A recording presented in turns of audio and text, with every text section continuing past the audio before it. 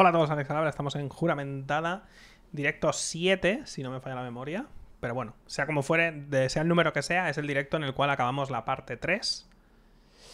Eh, y hacemos los interludios. Por el tema de las obras, eh, hace dos semanas que no hay directo, así que son como un montón de capítulos. Son del 69 al 86 más interludios, algo así. Un huevo. Son un montón. Me gustaría decir, hoy será corto, una vez más, porque me duele la cabeza. Pero no tiene pinta de que vaya a ser corto. Porque pasan. Pasan unas cuantas cosas. Hay bastantes detalles, la verdad. Hay un montón de cosas que no recordaba, la verdad. Hay un montón de pequeños detalles que no recordaba.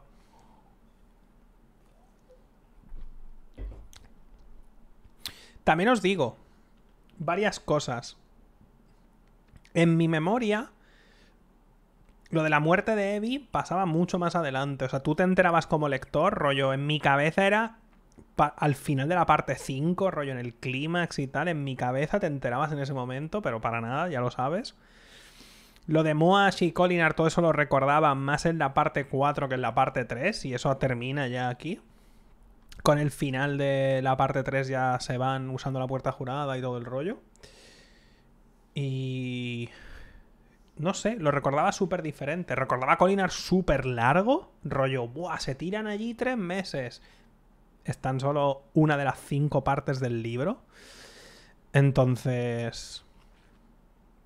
No sé, es, sí que es raro este libro porque tienes como... Empieza poco a poco, poco a poco, poco a poco, y toda esta parte, toda la parte 3, es como un clímax en sí mismo, ¿sabes? Es como un clímax y ahora cae en picado durante la, parte 4, volvemos a prepararnos y viene el verdadero clímax del libro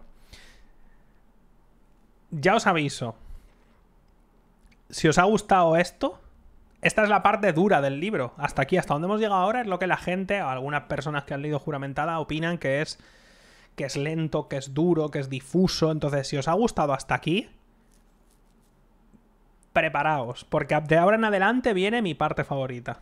De ahora en adelante viene mi parte favorita y cuando lleguemos a mi momento favorito lo sabréis, no hace falta que lo busquéis mucho, cuando lo leáis diréis, ok, es este. Pero... Viene la, parte. Viene... bueno. bueno. Preparaos. Porque viene la cumbia.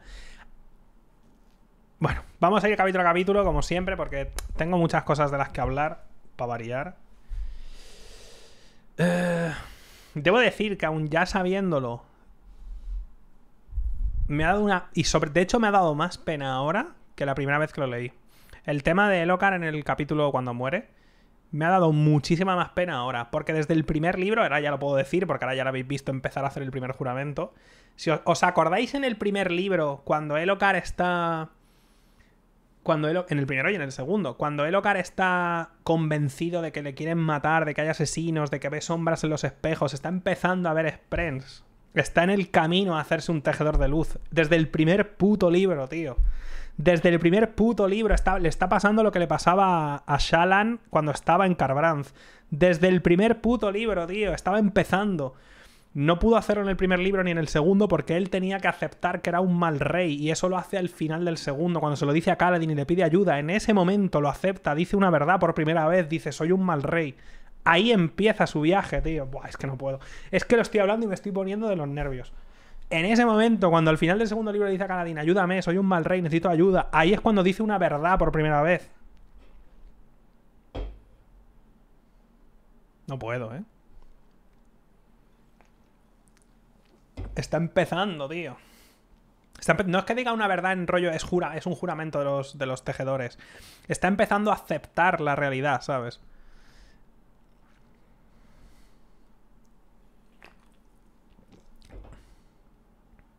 Bueno, da igual. Al lío. Empezamos en el 69, porque yo ya me lo leí. Este me lo leí la otra vez, porque la otra vez creo que acabamos en el 68 y yo me había leído uno más, que es el 69. ¿Vale? Que este capítulo, por suerte, no pasa mucho, es solo el capítulo en el que ya están en.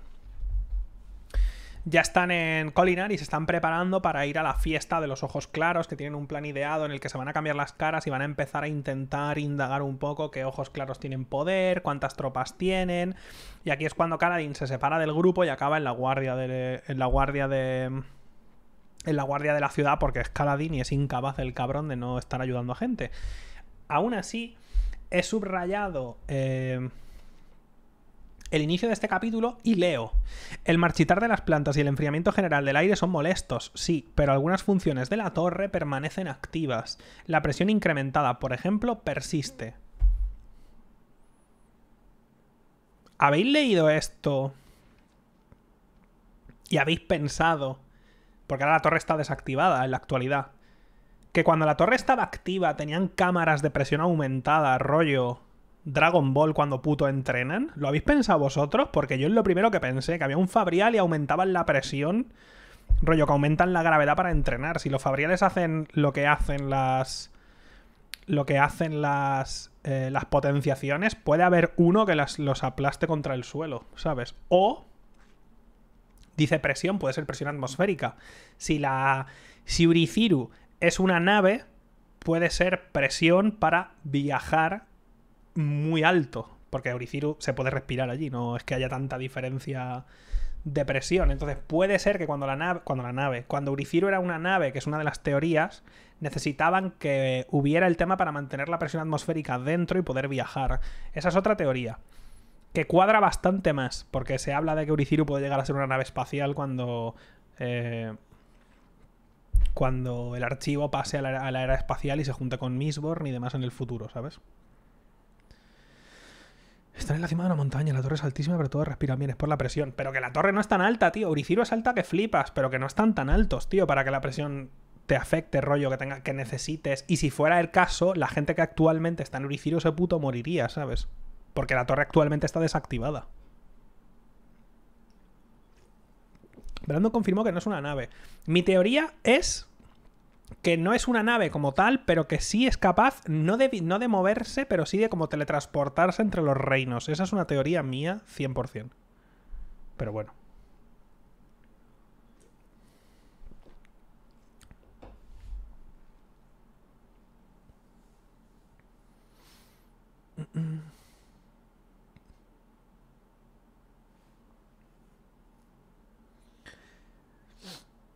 Tendría que poder hacerte a Desmar.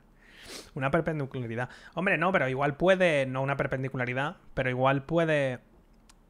Igual todo el pilar central, una vez activo, permite no solo todo el resto de funciones, pero a la vez es un fabrial, cuando esté preparado, que permite copiar, digamos, imitar la habilidad de. La habilidad de Hasna y se, va, se puede ir a Shadesmar se habla de que puede tener otra mitad porque está como cortada, pero no está cortada en el centro, ¿sabes? En fin, da igual, lo siento. Eh, porque estamos en, la primera puta frase y ya estoy aquí divagando. Haremos teorías al final. Cuando acabemos juramental habrá un directo de teorías. ¿Vale? Porque en ese momento todos sabréis lo mismo que sé yo y los que os habéis leído el libro, entonces podremos hacer teorías.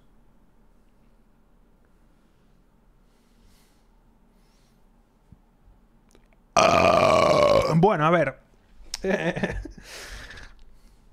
Eso, estamos en el capítulo en el que están preparándose. Se están preparando para ir a, la fiesta. Y entonces. Eh, Shalan les pone caras y tal.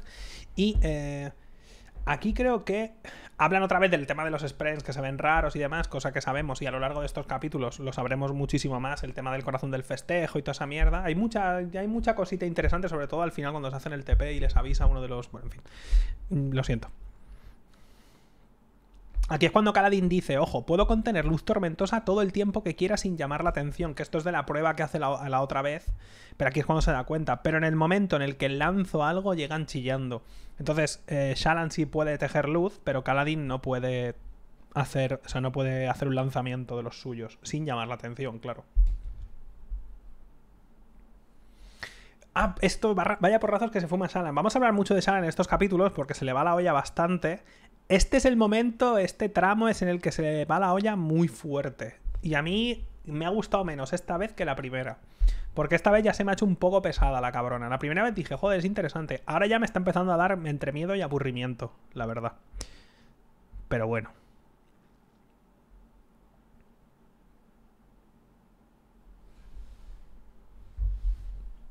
La página de Google, what? Tengo una teoría sobre el tema de las personalidades. Ahora cuando lleguemos os la comento. Porque la he pensado hoy leyendo. Que igual es, igual es algo que está confirmado, pero no sé por qué lo he pensado hoy. No, me no sé si es verdad.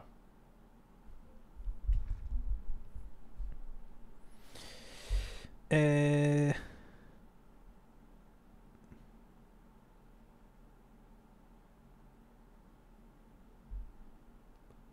¿Qué pasa en este capítulo? Es que en este capítulo no pasa nada, es lo que os he dicho, ¿no? Que van a la fiesta, Caladín, o sea, cada uno tiene su misión y ellos, eh, Adolin y Elocar, tienen que hacerse pasar por ojos claros que no son ellos porque llevan, llevan una ilusión para ver el tema de las fuerzas. Caladín se acaba separando y acaba yendo a... Va por ahí por la calle y le paran los de la guardia y él dice, hostia, que no...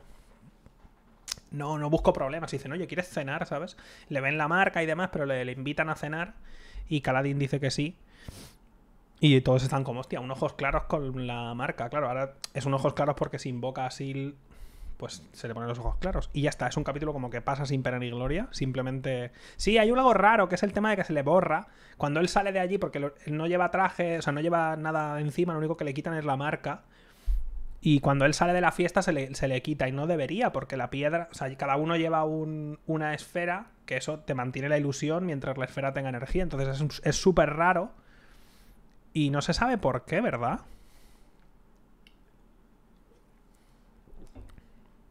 Ah, la página para, la escritura femenina. Sí, os la paso. Es esta de aquí. Es esa de ahí.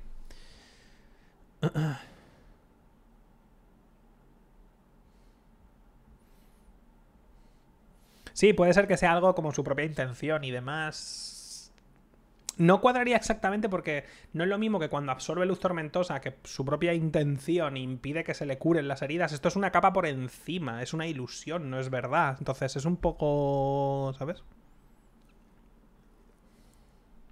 Quizá la absorbe sin darse cuenta, eso puede ser, no sé.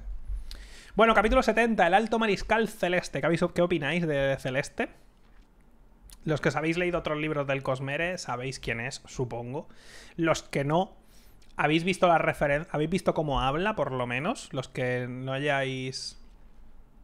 Los que no sepáis de qué libro es del Cosmere, al menos viendo cómo habla, ¿no recuerda a otro personaje que hablaba con metáforas que no tenían sentido? Habla con colores, ¿verdad? Pone todo el, todo el rato, hace, hace referencias a colores, todo el rato. Como el espadachín que os dije. Este personaje es otro personaje que es un saltamundos, viene de. Eh, viene del aliento de los dioses. Es Vivena, ¿verdad? ¿Era Vivena? ¿O me estoy equivocando de nombre? Es Vivena. Es Vivena, ¿verdad?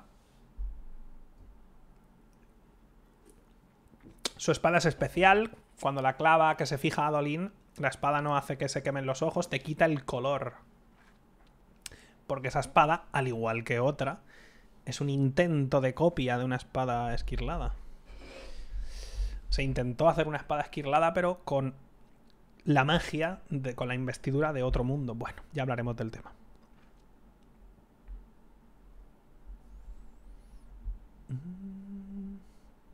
Bonito por de mitad del aliento. Tío, os dije que leyerais el aliento antes de este puto libro. Yo no puedo saber qué libros os habéis leído y cuáles no. Joder, o sea, estoy os contando las referencias y las cosas. Es importante.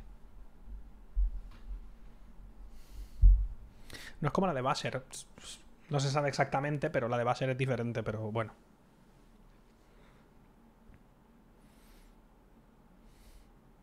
No, pero esta no es. Esta no es. Eh, no es la espada negra, no es lo mismo, no es la misma. Hay teorías sobre que es un mismo intento, eso sí. Es un intento de imitación de sangre nocturna y sangre nocturna a su vez fue un intento de imitación de una espada esquirlada hace mucho, mucho, mucho tiempo. O eso se dice, pero en vez de usar sprints se usan alientos, que es investidura de otro sitio y funciona diferente. Bueno, da igual. Alto Mariscal Celeste pega súper raro que de repente se entera Caladín de que de que este Celeste es una tipa. Vemos un Caladín que enseguida se siente súper cómodo con esta gente, hasta el punto de que se siente súper cómodo y dice, ah, eh, me siento como en el puente 4, pero ha pasado mucho más rápido. Y luego se da cuenta de que son todos ojos claros. Que luego ves que son ojos claros, pero de la mínima graduación, que prácticamente son, son ojos oscuros. O sea, quiero decir, son tan bajos que da igual. Aquí Caladín se da cuenta que incluso entre los ojos claros hay una diferencia enorme socialmente, no solo de los trabajos que hacen, sino que se juntan unos con otros entre los de baja graduación y los de alta graduación, por ejemplo. Pero pasa muy rápido. Yo también esto lo recordaba como que se hacía súper amigo de los de la guardia y realmente son dos capítulos. En dos capítulos ya está. Ya es súper colega de los de la guardia. Y ya estaría. En español es celeste, sí. En inglés es azure, ¿verdad? ¿Se llama? En inglés se llama azure. Y aquí es celeste.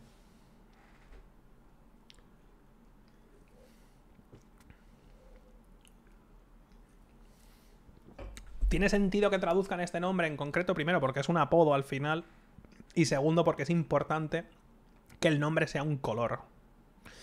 Eso es importante.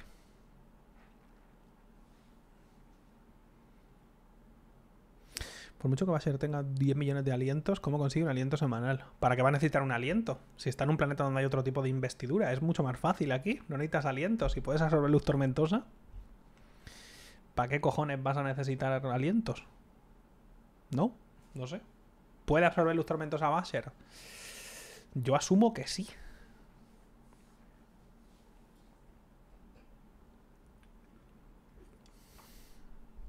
Pero bueno. Eh, la, la descripción Además, era mujer. En cuanto entra a pasar revista celeste, Caladín parpadeó extrañado y oyó el respingo que dio Sil arriba. La alta mariscal era de altura media para una mujer alezi, quizá algo menos, y tenía el pelo liso y corto, cayéndole hasta mitad de la mejilla. Sus ojos eran de un color naranja y llevaba una espada de cinto con una reluciente cazoleta plateada. La espada no se puede invocar, por ejemplo, eso es algo que se da cuenta Caladín. No tiene gema tampoco en la empuñadura, así que no se puede ni invocar ni, ni desinvocar, por eso la lleva siempre encima. El arma no era de diseño Aleci, sería la hoja esquirlada que le habían mencionado. Tenía cierta cualidad ajena, pero ¿por qué, ¿por qué llevarla en vez de descartarla? Aquí es la primera vez. Y este es un dibujo posible, bastante bueno. En la descripción habla de las cicatrices, del pelo corto a, mediado, a medio de la mejilla. No está nada mal. La espada es un poco corta. No sé si es una espada sin más o qué. Es más corta que el resto de espadas. Eso sí que es verdad. No sé de qué tamaño es. Y este dibujo es de...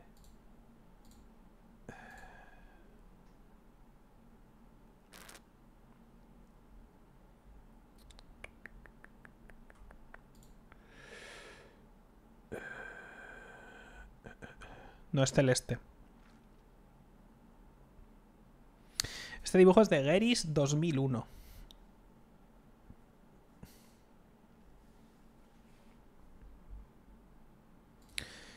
Esta es Celeste. Los ojos los tienen naranjas. No, no, su espada no es una espada esquirlada. A ver, no es una espada normal tampoco. ¿eh?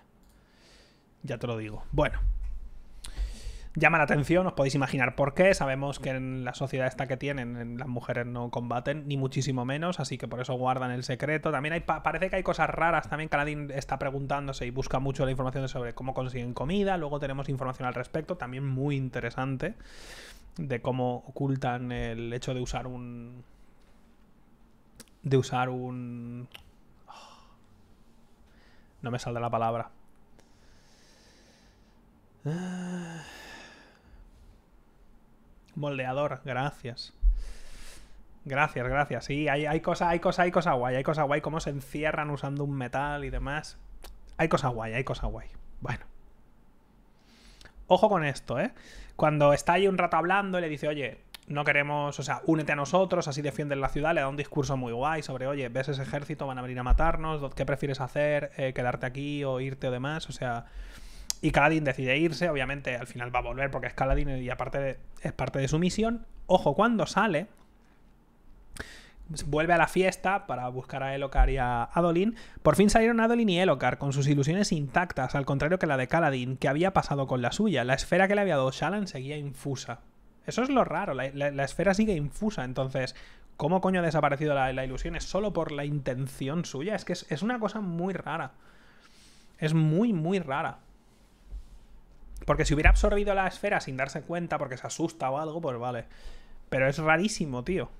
Lo de la esfera, en fin.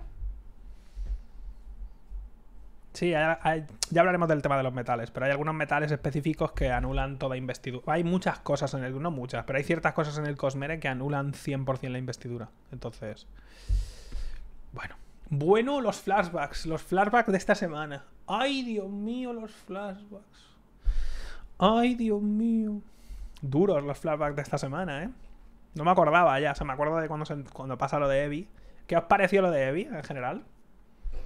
¿Habéis visto ya por fin al Espira Negra desatado?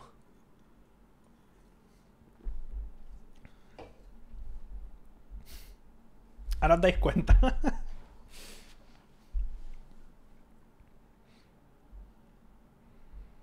no es tonta, tío, es. Es Evi, joder, ya, ya hemos visto cómo es, ¿sabes? Pero bueno. Bueno, el tema de los flashbacks. 11 años antes, aquí ya en el último tomó la decisión, bueno, tomó la decisión, sabía que tenía que ir a Rázalas otra vez, aquí ya está llegando, está planeando su ataque, que quería hacer medio ataque anfibio, medio no, o sea, llegar por el río, por el mar y demás, al final no puede ser. Y aquí es cuando están en el carruaje, Evi está enfadada y tiene una conversación con ella. Y habla Dalinar, dice, va, los rebeldes, no sé qué. Y dice Evi, ¿los rebeldes? Hombres que no son distintos a ti, solo que dio la casualidad de que nacieron en otra ciudad. ¿Qué habrías hecho tú si hubiera llegado un ejército para conquistar tu hogar? Porque dice Dalinar, oye, son rebeldes porque están en contra, ¿sabes? Pero realmente Dalinar llegó con su puto hermano y dijo, oye, esta ciudad es mía, ¿qué pasa? Entonces, habría luchado, respondió Dalinar, como harán ellos. Los mejores hombres saldrán victoriosos. ¿Qué te otorga ese derecho? Mi espada. Dalinar se encogió de hombros. Si el Todopoderoso quiere que gobernemos, ganaremos. Si no, perderemos. A mí me parece que lo que quiere es ver quién de nosotros es más fuerte. Que aquí en parte dices, mm", porque dice Evi, y no hay lugar para la clemencia, y dice, fue la clemencia la que nos ha traído aquí, si no quieren combatir deberían someterse a nuestro dominio. Hasta cierto punto, quiero decir, tiene razón, porque si, si en su momento Daniel hubiera matado al hijo, se acabó. Ya está. Habría hecho algo que está mal, pero bastante mejor que lo que acaba haciendo. Y esto no habría ocurrido. En cambio, fue Clemente, pero como toda la sociedad Aleci es como es, esto ha llevado a la revolución otra vez. Entonces, a ver, también es verdad que si desde un primer momento hubieran sido clementes, no habrían llegado a ese momento, ¿sabes? Entonces, Dalinar fue bueno en su momento, o lo fue un poco, y esto, eso llevó a este momento. Y ojo, porque Dalinar no lo hace bien una vez, lo hace bien dos. Cuando vuelven otra vez e intenta negociar es cuando le tienden la trampa. Y Dalinar le dice, oye, una vez te dejé escapar, dos intento hablar contigo y casi me matas. Chico, no, ¿sabes?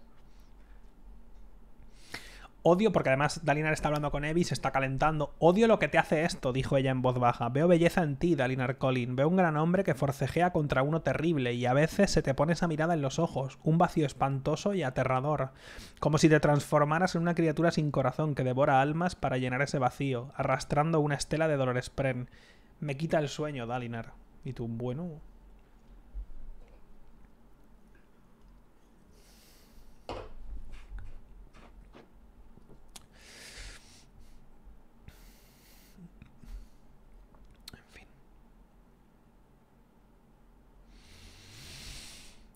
bueno, tiene esta conversación con Evi en el carruaje, llega y Dalina está dándole vueltas con el rollo este de no alimentes al monstruo, la, última, lo último que le ha dicho Evi. Llega, intenta, va él solo y dice, mira, salen de la ciudad de Razalas y dice, oye, camina conmigo, vamos a hablar un rato, ¿no? Se supone que debo confiar en tu palabra, dice el otro. ¿Qué hice en nuestro último encuentro? Cuando te tenía en mis manos, ¿cómo actué? Me robaste. Y, dijo Dalinar, un rollo, ¿y? Te robé, pero no te maté. O sea, a ver, me cago en la puta. Habla con él. Y aquí hay una, aquí hay una, trama súper bien hecha. Porque cuando llegan a la ciudad, ven que ha salido como un carruaje. Y Dalinar manda a seguir a esos. Y a la vez él va y tiene esta charla. ¿Vale? Y aquí es cuando Dalinar le dice, oye, vas a perder. Quiero decir, a ver. Además le dice, además como súper honestamente, le dice, ¿cuándo he perdido yo una pelea? No ha pasado, ¿verdad? ¿Qué, quieres? Lo único que vas a hacer es que te mate, o que me carga tu ciudad, o que todo el mundo se muera. O sea, si, entramos aquí vamos a dejar... Mm, todo el mundo va a estar muerto. Todo el mundo se la come esta, ¿eh? ¿A que sí? Yo también, yo también la primera vez que lo leí dije, hostia, Sadeas es malo, qué cabrón. Porque además lo estás viendo con tu mentalidad del presente, de, saber cómo es. Pero también piensas, hostia, si en su momento hizo eso, una de dos, o no se enteró nadie, si pasó de verdad, o era una estratagema de algún tipo, porque en el presente se llevaban bien hasta que pasó todo lo que pasó en el primer libro, ¿sabes? Entonces, entonces no cuadraba del todo, ¿no? Pero yo, llegué a pensar, hostia, ¿sabes lo que yo, yo pensé, ¿sabes lo que es esto? Digo, yo creo que Sadeas lo estaba planeando, la primera vez que lo leí, digo, Sadeas lo estaba planeando aposta para cabrear a Dalinar hasta el punto de que la liara parda, ¿sabes? Eso es lo que yo pensé la primera vez. Pero bueno. ¿Alguna vez he perdido una batalla, Tanalan? ¿Conoces mi reputación? ¿La consideras exagerada? Prefiero morir intentando derribarte que rendirme. Más te vale estar seguro de eso, dijo Dalinar, porque si salgo triunfante tendré que sentar ejemplo, te destruiré. Señalaremos tu, desgracia y tu desgraciada y llorosa ciudad como a todo aquel que pretenda desafiar a mi hermano. Tienes que estar convencido por completo de que quieres enfrentarte a mí, porque una vez hayamos empezado me veré obligado a dejar solo viudas y cadáveres poblando la grieta. Y tu joder. Buena.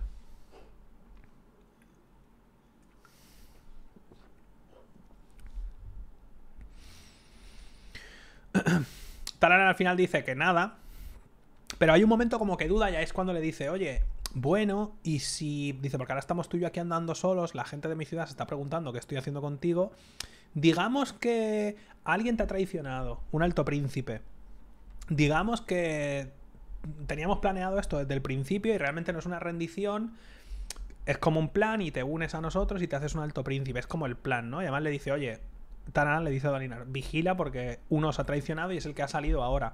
A la vez Dalinar mandó llevar, o sea, mandó eh, gente a seguirle, que cuando él vuelve le dan, le dicen que iba con armadura, que es alguien con armadura esquirlada, el otro le dice que ha sido Sadeas, por ejemplo, y Dalinar duda, hay un momento que duda. Que luego la realidad es tan simple como que todos esos que han salido de la ciudad van vestidos de Sadeas, pero no son de allí, son de la grieta.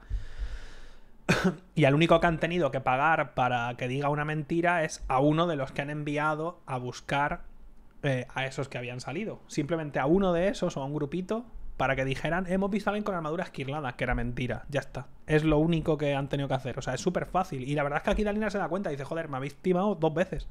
La primera vez que vine, que se cae, la primera vez que fue, que se cae y casi se mata. Y ahora otra vez, se vuelve a creer una mentira y casi se cae. O sea, casi se cae, no, se cae y casi se mata. Pero bueno. Bueno, la cosa es que se lo dice quién y dice Torol Sadeas y está como dudando un montón. Y Dalinar vuelve al campamento y aquí es cuando dice, oye, manda un mensaje a Gavilar y dice que puede, dile que puede ser que nos hayan traicionado y se queda ahí. El resto ya lo veremos.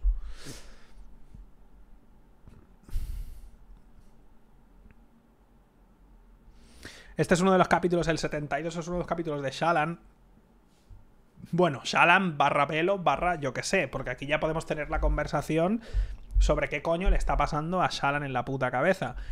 Que, eh, dada la conversación que tiene con Hoyt o con Sagaz, cada vez tiene más sentido eso que me dijeron por Twitter, ¿eh? que su último juramento sea yo soy Shalan, o sea, yo soy Shalan Dabar, que ese sea su último juramento, rollo, aceptar quién es de una puta vez. Cada vez me gusta más, ¿eh? Cada vez me gusta más. Tiene muchísimo sentido, tío. Que ese sea su último juramento. Que realmente por fin, porque además cuando tiene la conversación con Sagaz y demás, es la polla. Vemos una Sharan que, bueno, ya lo sabemos, ya sabemos lo que le pasa y demás, y está totalmente perdida. Que cuando, cuando se pone uno de estos trajes de luz, como puede ser el de Velo o el de Radiante o el que sea, como que se mete tanto en esa personalidad que no quiere volver a ser Shalan, hasta el punto de que le cuesta salir incluso de las personalidades a ratos. Una de mis teorías, no teorías, pero yo creo que, no sé si es parte porque que esto, es verdad que la mayoría, o muchos tejedores de luz eran buenos con el tema artístico. No sé si es un poco una mezcla de todo, el hecho del pasado de Shalan en concreto. Pero hasta qué punto puede ser porque siempre que vemos a Shalan dibujar, como que cuando se concentra, como que entra en un trance y acaba viendo cosas. ¿Hasta qué punto puede ser que Shalan, cuando se pone un traje de luz, llegue incluso a copiar, no solo físicamente, como que llegue literalmente a copiar parte del alma de alguien. Que cuando copia a alguien es capaz de copiar su alma en parte hasta el punto de actuar como ellos y pensar como ellos. Porque le pasa con la mujer esta de la ciudad cuando van a hacer uno de los robos de comida, que empieza a comportarse como ella enseguida, pero súper rápido, como que se deja llevar, ¿sabes? Pero súper rápido. Solo se viste como la, ojos claros y en la siguiente palabra está, está hablando como ella ya, y tú, tío. O sea, es como si, como si como si en vez de hacer una simple copia física, está haciendo una copia en varios planos. En uno, ¿sabes? Está haciendo una, copia física y una copia espiritual y la junta y se la pone encima. Porque es muy raro, tío, ¿sabes? Es que es muy raro.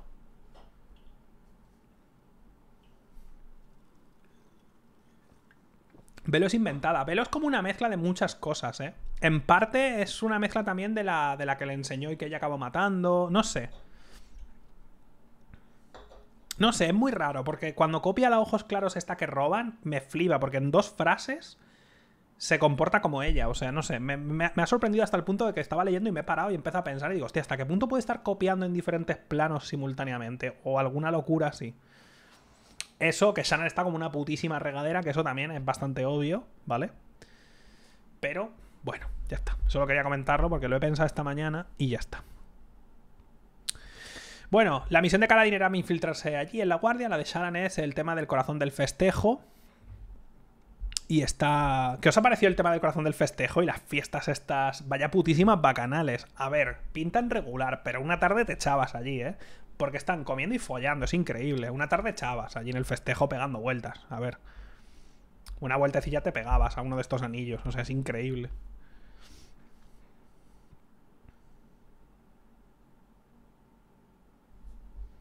Da miedo, ¿eh? Cuando están, además, que hay una, hay una. Cuando están ya en el anillo interior y mira a una mujer y le está mirando y empieza a sonreír hasta el punto de que está como apretando los dientes y empieza a sangrar y gente arrastrándose por el suelo y tu madre de Dios. Bueno, este es uno de los capítulos de Velo en los que están robando a una mujer eh, ojos claros, están robándoles la comida porque ella quiere lo que quiere hacer para que la inviten al festejo es impresionarles y lo que hace es que roba comida y la da al pueblo, que luego sale regular, ya sabéis. Aquí vemos todo el plan de cómo acaban robando y se escapan. Aquí es donde pasa lo de que copia la imagen de la Nananaf esta, ¿se llama Nananaf? Naranaf, sí. Y como que se pierde un poco, ¿no? Es lo que os digo, como que empieza a comportarse mucho como ella muy rápido. Le disparan en la cabeza. ¿Qué os ha parecido eso? Porque tú hasta este, hasta este punto no habíais pensado, vale, te cortan, te puedes curar, te cortan con una espada esquirlada una pierna, la puedes recuperar, pero le meten un puto flechazo en la cabeza, en el cerebro y como que se cura. Y tú dices, es un poco raro. Yo la primera vez que lo leí digo, no, me cuadra, ¿sabes? Es una locura, que, está hablando raro, ¿sabes? ¿Sabes? Le, atraviesa el... Le atraviesa el, la, cabeza la flecha que habla raro, ¿sabes? Dice, no pechenede. Ahí como que está como... Yo me imagino medio babeando, no sé. Choncholo ilusiones. Está hablando ya todo mal. No, me lo imagino perdida, no sé. Dice, te, tiene, te han manchado el, vestido de sangre. Dice, Ibe, Ibe a tirarlo de, de, todos modos. O sea, como que está hablando hecha polvo, no sé. Que luego no se la puede sacar y tiene que venir uno de ellos y sacársela y ella como que pierde un poco la vista y luego se regenera, ¿sabes? Sí, es verdad que el crecimiento de Liz revivió a alguien. Pero no es lo mismo. Ahora mismo no es, una, no es la potenciación de crecimiento lo que está usando. ¿sabes? Lo que está haciendo es curarse con luz tormentosa normal. Es decir, esto lo puede hacer cualquier radiante. Cualquier radiante puede recibir un puto flechazo en la cabeza y no pasa nada. Es raro, sí, es, es como mucho más poderoso de lo que me imaginaba. Pero bueno, la cosa es esa. Es muy raro, es, dura dos páginas, pero es un poco raro.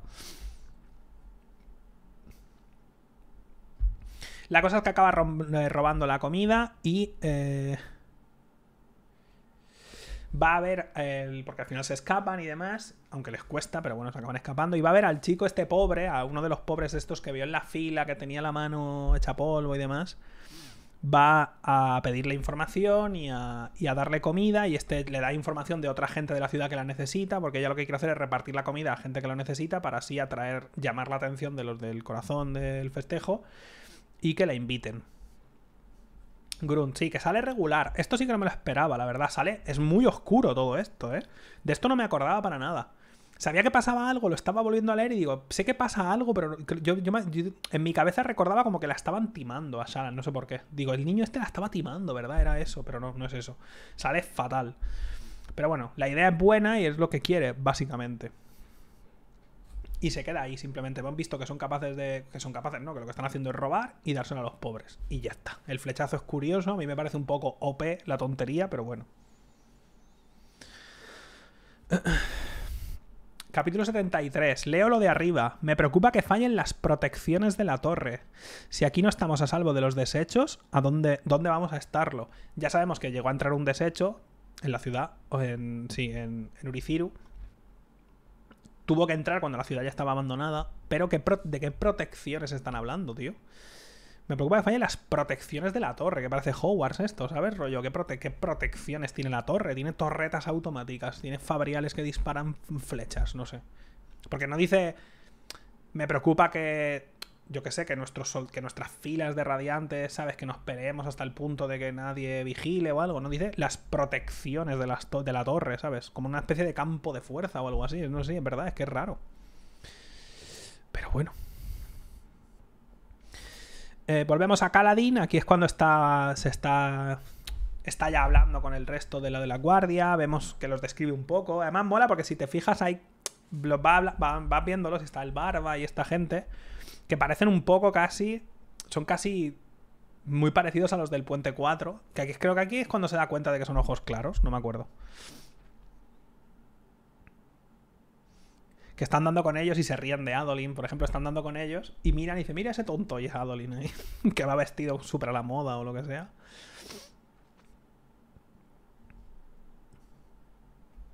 Que además dice, hombre, pero ¿cómo pueden decir eso de...? Además, esto mola, es, es un bromomento bastante bueno, ¿eh? Es un, es un bromomento en el sentido de, de un bromance poderoso. Porque creo que es aquí.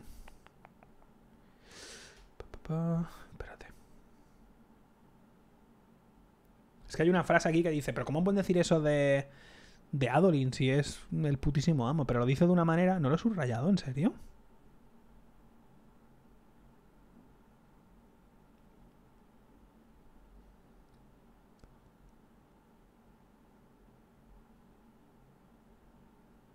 Lo he subrayado, tío, lo dice aquí.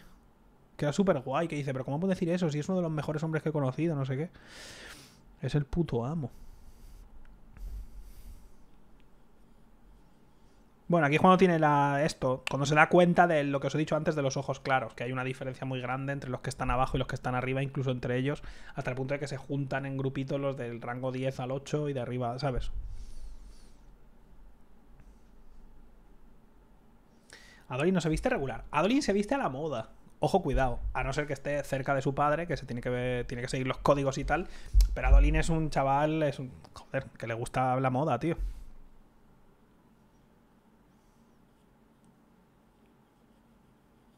Adolin se viste bien. Se viste la moda. Si os fijáis en, cuando, en las descripciones de la ropa, es súper colorida, ¿eh? Que esto seguro que cuando. Si adaptan el archivo a una serie, una peli, seguro que no será igual. Pero los colores son súper llamativos, súper exagerados. O sea, llevan. Joder, es que llevan unos trajes que dicen, madre de Dios, ¿sabes?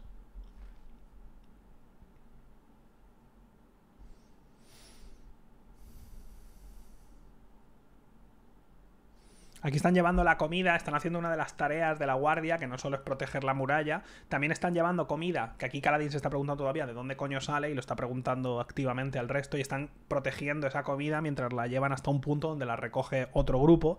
Aquí cuando se acercan desde lejos empiezan a venir gente de los del culto diciendo, ¡buah! Somos Sprens, no sé qué. Recé a los de la noche y han acudido a mí, bramó un hombre desde la primera línea. Me han librado del dolor. Y le está como, oh no. No, no, que vienen. Y le pregunta además, creo que sí le pregunta a Galadin, ¿y qué habrías hecho si hubiera pasado algo? Porque esto es gente del pueblo, ¿qué haces? ¿Cómo sigues tus juramentos? ¿A quién defiendes? ¿A quién proteges? ¿Qué haces? ¿Sabes? Pero justo en el momento llega el grupo que tenía que recoger la comida y al final realmente no pasa nada, vuelven a la muralla. Y ya está. Y al final le pregunta, oye, tenéis un moldeador de almas, ¿no? Quiero decir, esto es lo que está pasando. El único de la ciudad que no estaba en el palacio cuando, ya sabes, cuando pasó aquello, el único que estaba fuera del palacio era ese. ¿Pero cómo lo estamos usando sin atraer a los chillones? preguntó Caladín. Bueno, dijo Barba. No puedo contarte todos los secretos, pero... y se queda ahí la conversación. Y, aquí es cuando Caladín ya se da cuenta, ya lo he dicho antes, pero ya lo dice. Dice, ¿te, has dado cuenta de la espada? ¿Te has fijado en lo rara que es su hoja esquirlada, la de Celeste? No tiene la gema en el pomo ni en la guarnición. Y aquí es cuando Caladín piensa, hostia, puede ser que sea una... Porque dice, la única espada que he visto sin gemas son las nuestras, las de los radiantes o una espada de honor. Y él piensa, coño, puede ser una espada de honor y le está dando el poder de moldear. Y entonces si lo hace, no atraería, si lo hace si lo hace un radiante, digamos, o alguien con poderes de estos, como no es un lanzamiento en sí mismo, no debería atraer. De hecho, lo dice aquí literalmente, ¿no? Quizá explicaría por qué los chillones aún no lo habían descubierto, porque dice una hoja de honor que proporcionaba, que proporcionaba poderes de radiante a quien quiera que la empuñara. Si Celeste poseía un arma que le confería el poder del moldeado de almas, quizá explicaría por qué los chillones aún no, habían, no la habían descubierto.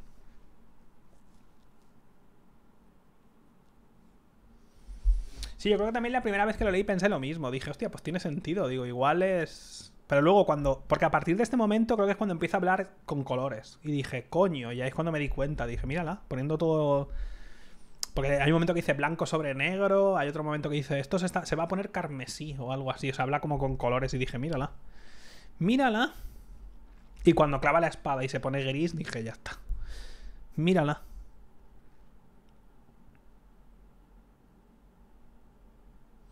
¿Pasa algo más en este capítulo? Aquí es cuando atacan, ¿verdad? Hay un ataque, pero en la de al lado, porque está en el grupo de la muralla, pero hay como diferentes almenaras o algo así. Y atacan la de al lado, pero forman filas y esperan, como que no quieren romper filas. Aquí le sale a Caladín el rollo de dar órdenes, hasta el punto de que se tiene que parar un poco, porque dice, joder, que aquí no soy nadie, ¿sabes? Estoy un poco de incógnito. Y ya está, y simplemente ven que atacan y lo vuelven a repetir otra vez, que no están atacando para destruir las murallas, atacan los portadores del vacío, bueno, los fusionados, atacan para ver la velocidad de reacción, qué armas tienen, cómo se defienden y echar un vistazo un poco a ver qué está pasando, ponerles un poco a prueba porque va a pasar, quiero decir, van a atacar y quieren ver realmente cómo se defienden.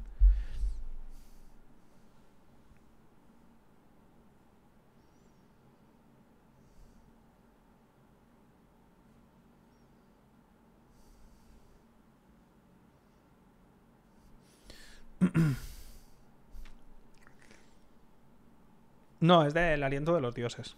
Que lo podéis leer, porque son como 700 páginas o algo así, y es un libro autoconclusivo, hasta que haya segunda parte, que va a pasar en algún momento, pero de momento es autoconclusivo.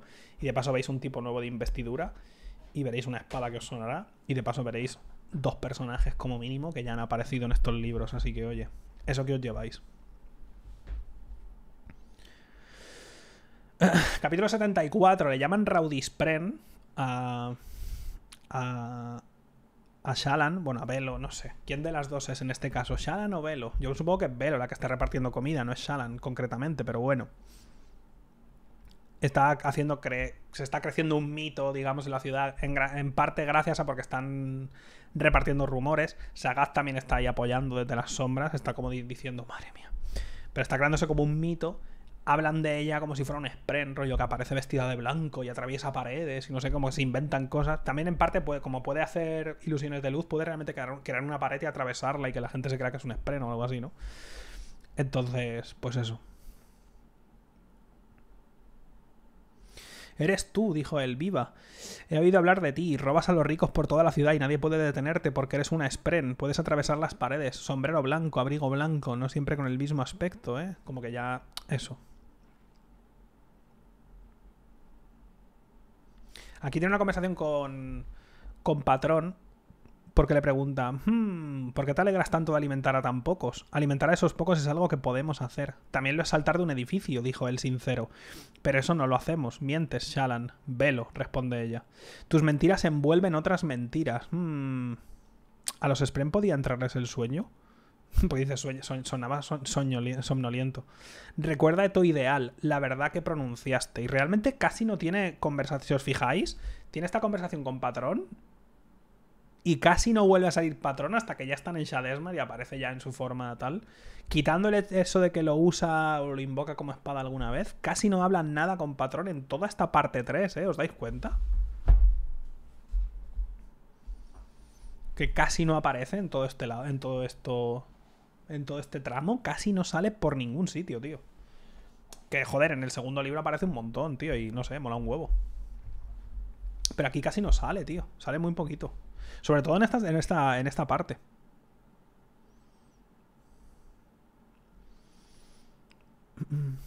Aquí se deja llevar, porque aquí intenta hacer mal la mentira y se, pone, se mete por un callejón y, y empieza a ver gente de estas que va disfrazada de Spren y ella se pone como un traje de un traje de luz que parece como un Spren con tiras que como son como puntas de flecha o no sé qué y empieza a meterse tanto en el rollo este que, escucha como dentro, ¿no? Rowdy Spren, inspiró sus cánticos y se saturó de sus ideas, se convirtió en ellos y alcanzó a oírlo al fondo de su mente. Ríndete, entrégame tu pasión, tu dolor, tu amor, entrégame tu remordimiento, acepta el final de todo. Shalan, no soy tu enemiga. Que luego aquí realmente parece que está escuchando a, los dos a la vez, a los dos a los dos desechos, porque la primera parte es el corazón del festejo, pero el Shalan, no soy tu enemiga, es el otro, ¿sabes? Pues que luego ve en el espejo y habla con ella y dice, oye, que no soy tu enemiga, que si pilláis esta. Si pilláis esta puerta jurada, igual nos reímos. Entonces parece que está escuchando a los dos. Un poco, ¿no?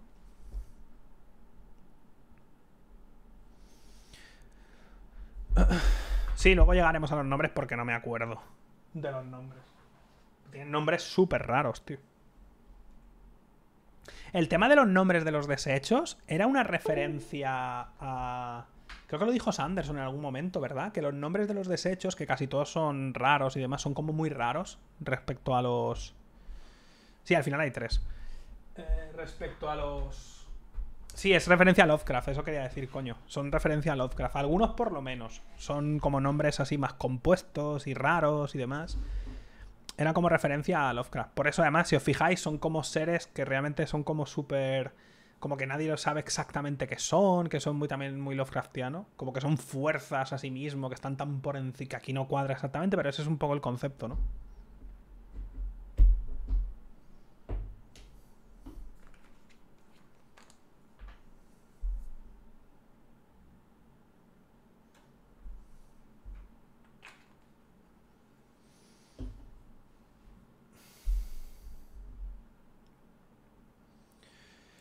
¿Cómo que tres? Eh, hombre, está la que. La que controla a.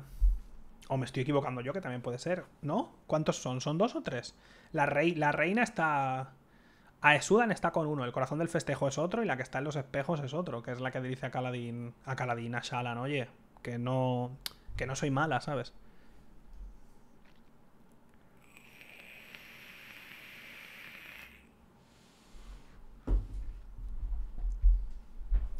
Yelignar es Hanat y el espejo, no me acuerdo. Son muy raros, tío, sí. Bueno, al final Shalan como que se está dejando llevar por este sonido, al final como que sale del rollo este y dice, joder, me estaba dejando llevar mucho. Y le dice a los que están ahí festejando, le dice que no, se hace pasar por un sprint de verdad. En cambio el resto van disfrazados. Y ella como puede tejer luz, pues hace como un show ahí que flipas y dice que que no queremos vuestra devoción. Cuando un spray nos ha pedido nada, iros a vuestra puta casa y sed hombres y mujeres, no sé qué, y se van todos y ya está. Pero que ella piensa, joder, casi me dejó llevar, ¿sabes? Casi, casi.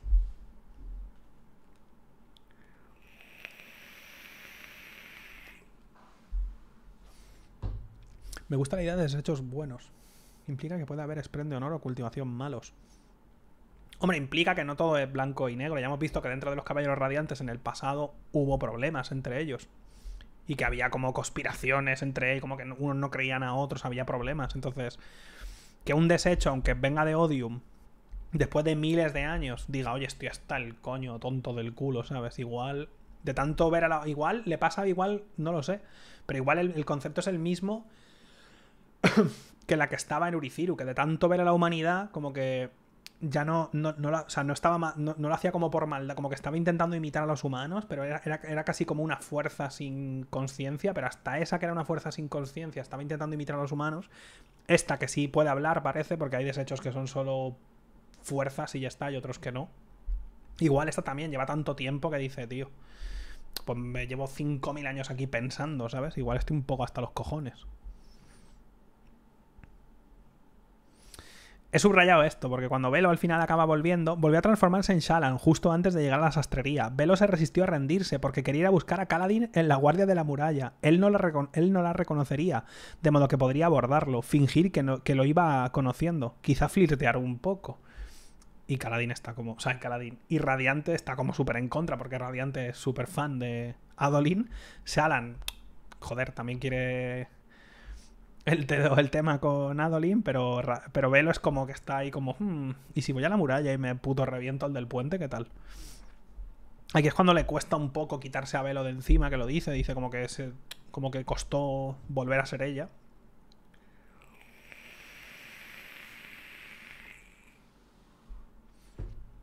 Esto es lo que yo... es lo que yo dije. Que quizás Shalan acaba Shalan con Adolin y Velo con Kaladin. Y ahí es cuando dije lo de ¿sería cuernos? Porque si son personas diferentes hasta ese punto, que no creo, porque yo creo que al final pasará eso, que Shalan aprenderá a controlar a toda, cada una de estas de sus partes y todas serán ella y ella las será todas sin, sin separarlo 100%. Pero... Pero eso. Es una de las cosas que también pensé.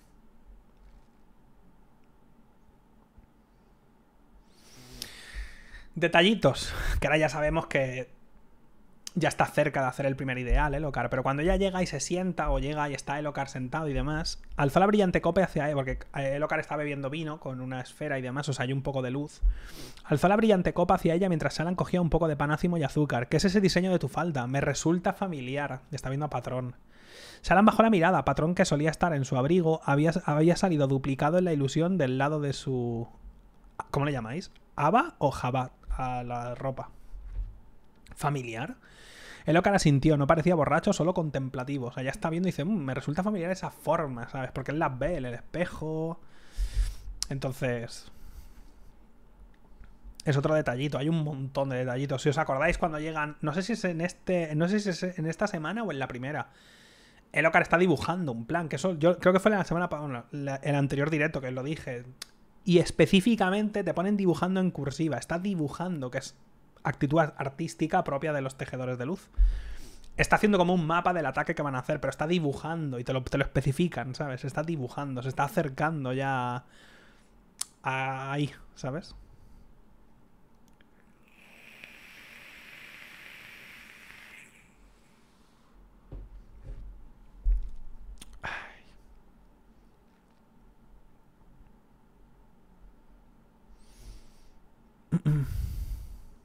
Bueno, además esto, buah, es que...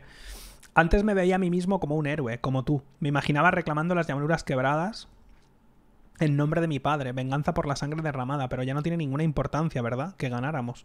Claro que la tiene, dijo Shalan. Tenemos Uriciru y hemos derrotado un gran ejército de portadores del vacío.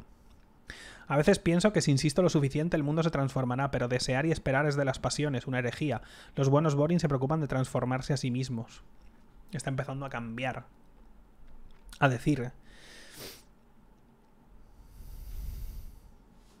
Aquí le hace un dibujo, tío. Y eso es lo que está viendo al final, cuando agarra a su hijo y tiene un papel en la mano. Cuando en el capítulo donde muere, con una mano está agarrando a su hijo, con la otra tiene un papel en la mano. Está viendo este dibujo, está viendo lo que puede ser, porque aquí le dice, eres, así es como me veo, y dice, puede, sí. Y ella piensa, bueno, es una versión de ti. Esto es lo que está viendo, está mirando el dibujo, tío. Sí, tengo una imagen, ya la, ahora la pongo, luego la pongo.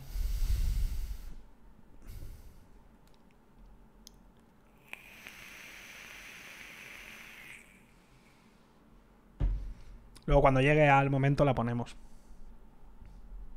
Por eso lo dije, cuando en el primer libro odias a Elocar, en el segundo lo odias, pero luego al final va a Kaladin y le dice, oye, ¿cómo, ¿cómo puedo ser un buen rey? Como empieza a aceptar, como empiezas a ver su arco de personaje, su cambio hasta este momento. Dices, joder, qué bien hecho está. Empecé odiándote. Luego entendí un poco más tu situación cuando me explicas, cuando te explican lo difícil que es ser rey, las decisiones que se equivocó, que él lo dice y demás. Y aquí estás viendo cómo intenta ser el héroe que esperan de él, que quiere salvar a Colinar, que quiere salvar a su hijo. Es la polla, tío. Y que consiga a este tío que entre en libros odies a este, odies a este pavo y aquí a mí me dio una pena que flipas, me dio una pena, pero una puta pena y esta vez me ha dado mucha más pena porque he visto todos los detallitos desde el primer libro que empieza a ver sombras y nadie le cree y él cree que se está volviendo loco y que le quieren matar, que tiene sentido. En fin.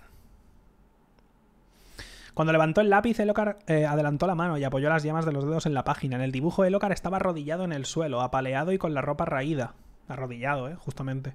Pero miraba hacia arriba, hacia afuera, con el mentón alzado. No estaba derrotado, no, aquel era un hombre noble, regio. ¿Es el aspecto que tengo? susurró. Sí, y ella piensa. O es el que podrías tener, por lo menos. ¿Puedo quedármelo? Y Shalan la barniza y se lo da y está como mirándolo flipado. Pero bueno. Capítulo 75, que este es un flashback. Aquí es cuando Dalinar ya va corriendo buscando a esos, va con su armadura, que por cierto va con un equipo de élite que pone, y esto le subraya porque me ha hecho gracia. Porque Dalinar dice, bueno, no podría seguir, porque en vez de ir con caballos van corriendo, porque por el tema de las, de las montañas y eso es complicado. Dalinar no había entrenado con ellos, ya que no tenía tiempo de correr 50 kilómetros al día. Y digo, pero bueno, pero esta gente, ¿cómo corres 50? que son esta peña que hacen ultramaratones? Hacen una maratón cada día, todos los días del año. Esta gente. Bueno. La cosa es que va con el equipo este de élite. Eh, va siguiendo a estos que se supone que dicen que es Sadeas y demás. Llegan, los ven de lejos, ven quemas de verde, salen corriendo. Eh, eh, se tira como un putísimo animal, empieza a matar gente y es cuando se gira y se da cuenta, escucha un ruido y se da cuenta de que caen rocas que les aplastan a todos y aquí es cuando empieza a hilar y dice, joder, me han tendido una trampa otra vez. Ya pasó y vuelve a pasar. Esto era una trampa, Sadeas no era un traidor, aquello estaba planeado por la grieta y su alto señor para traer a Dalinar y soltar piedras que lo aplastaran. Cobardes. Ya habían intentado algo parecido en Rázalas hacía mucho tiempo.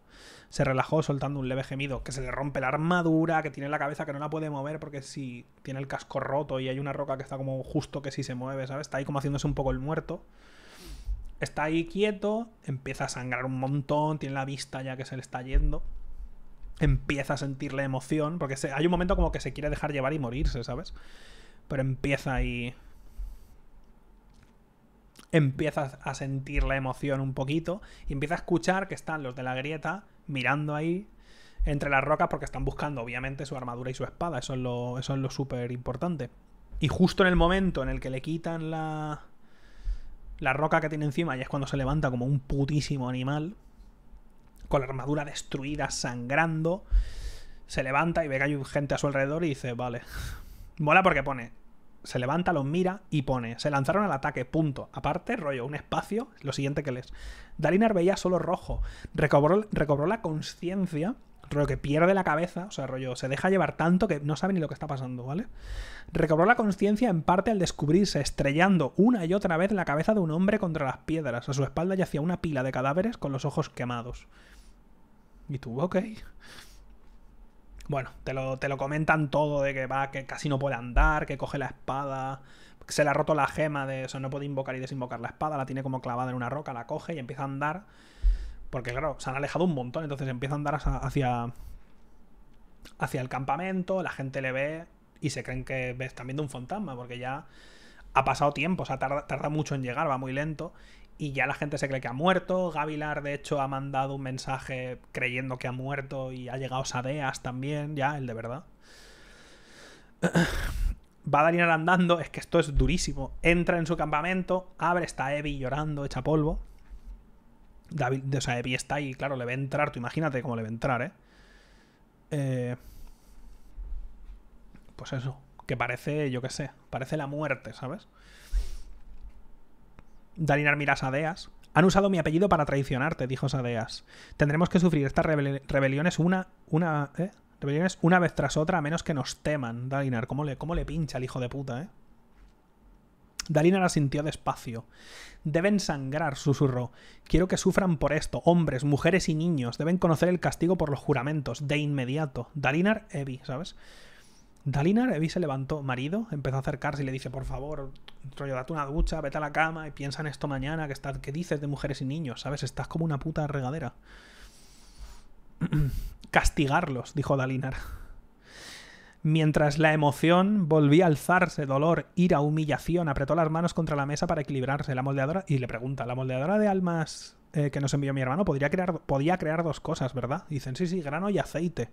Bien, ponerla a trabajar. ¿A trabajar? ¿Más alimento? No, aceite. Tanto como den de sí las gemas que tenemos. Ah, y que alguien lleve a mi esposa a su tienda para que, para que se recupere de su duelo injustificado. Todos los demás acercaos. Por la, por la, mañana sentaremos ejemplo con Rázalas. Prometía Tanalan que sus viudas llorarían por lo que iba a hacer aquí, pero ese es un destino demasiado piadoso después de lo que me han hecho. Pretendo arrasar tan a conciencia este lugar que durante diez generaciones nadie se atreverá a construir aquí por miedo a los espíritus que lo acosan, que lo acosarán. Haremos una pira de esta ciudad y no habrá sollozos por su pérdida, pues no quedará nadie para sollozar. Y tú, madre. Se ha enfadado, creo. Y tú, a ver. Ojo, Igual destruir una ciudad entera y matar a miles de personas, entre ellos mujeres y niños, está regular. También te digo, Dalinar le perdonó la vida de pequeño. ¿Vale? Para empezar. Le perdonó la vida de pequeño y le robó, que bueno, visto lo visto, ni tan mal. Ahora llega y Dalinar intenta negociar con él, le tima y casi le mata otra vez. A ver, está regular, pero colega, que lo ha intentado, ¿sabes? Habría sido peor hasta cierto punto casi, pero es importante que veas esos destellos, como que Evi es una fuerza, digamos, tan buena en la vida de Dalinar que ves esos pequeños destellos. Cuando Evi habla con él antes de la primera vez que va. No, perdona. Sí, ¿es la primera vez que va a Rázalas? ¿Ya está con Evi? No me acuerdo. No sé si es la... Pero da igual. Ves esos destellos de que es, se deja llevar, pero al final como que recupera un poco la conciencia y salva. O sea, sí, ya está con Evi, porque le salva la vida. O sea, no, no, no, está con ella, pero luego se lo cuenta y, Evi dice. Joder, Evi, menos mal, hay, hay, humanidad en ti. Pero bueno, vemos esos destellos, ¿no? Ves el destello en el que se deja llevar, pero al final se controla y le, le perdona la vida. Luego aquí Evi habla con él. No seas un animal, contrólate y tal. Y va a hablar con el otro y le intenta negociar y no sale bien. Entonces ves esos pequeños destellos. Si fuera todo malo, dirías, joder, no tiene redención. Pero no, no, es un putísimo genocida, es un putísimo animal, no me entiendan mal. O sea, está como una puta regadera. También en parte, no quisiera no culparle, pero la emoción no ayuda. ¿Vale? La emoción no ayuda, ¿vale? Pero al menos, al menos vemos que lo intenta dos veces, un poco. Que no está tan mal. Si no hubieras visto esos dos intentos, dirías, joder. Pues la verdad es que no tiene ninguna redención este personaje. Si solo es malo, ¿sabes? Si no hay nada más. Bueno. Capítulo 76 se llama Un animal. Es el capítulo 11 años antes, justo después de esto. Eh, esto mola un montón porque el capítulo empieza así, atentos, ¿eh? Brillante señor, lo llama una mensajera que llegó a la tienda. Pasó dentro. Sale un grupo de la ciudad portando banderas de tregua. Matadlos, lo primero que dice Dalina. Y es que me imagino sin mirar. Rollo que está hablando con Sadeas y escucha a alguien de lado. Y dice, salen de la ciudad para rendirse. Y está Dalinar hablando con Sadeas y sin decir nada dice, los podéis matar. Señor, flechas, mujer, dijo Dalinar. Matad a cualquiera que salga de la ciudad y dejad que se pudran sus cadáveres. Y la otra, ok. ¿Qué ocurre, por cierto? Ese grupo, sí, ese grupillo.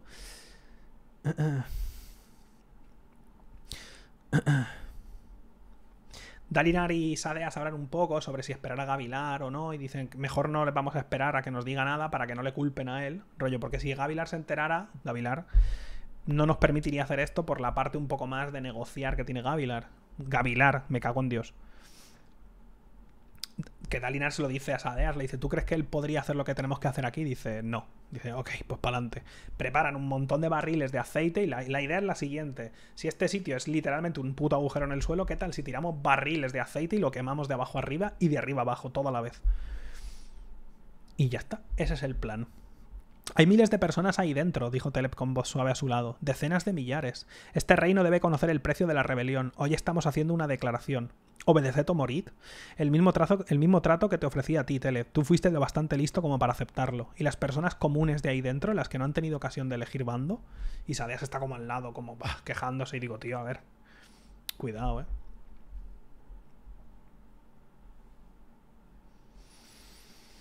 Los soldados descorcharon toneles de aceite y empezaron a arrojarlos por el precipicio de forma que empaparan los niveles superiores. Los siguientes los, perdón, los siguieron las antorchas que incendiaron puntales y pasarelas. Hasta los mismos cimientos de aquella ciudad eran inflamables. Que también igual, a ver, no soy yo ingeniero, pero me cago en la puta, sois tontísimos, ¿sabes? Lo que a mí me sorprende es que nadie haya quemado esta ciudad todavía. Porque viene un tonto con un mechero y un litrito de aceite de oliva y le prende fuego a este sitio. A ver si me entiendes, es que no sé. Son un poco tontos, ¿no?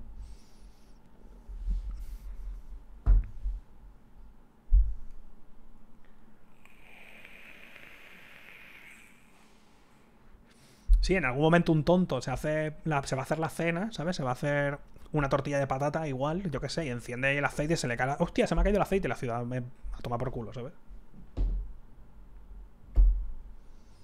Digamos que no, igual la culpa es del tío que la construyó.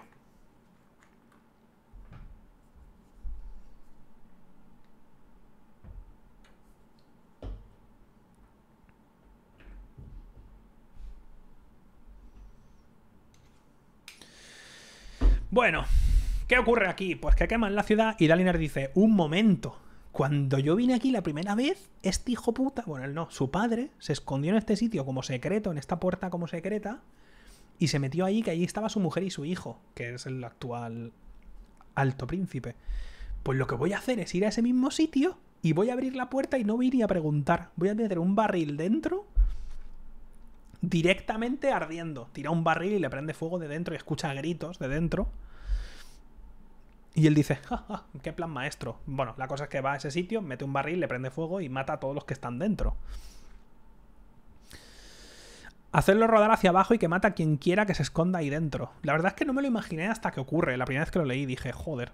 Los hombres apresuraron a obedecer y al poco tiempo el túnel de piedra exhalaba el correspondiente humo negro. Nadie intentó huir, aunque Dalinar creyó entreoír chillidos de dolor procedentes del interior. Se quedó mirando tanto tiempo como pudo, hasta que el humo y el calor lo obligaron a retroceder.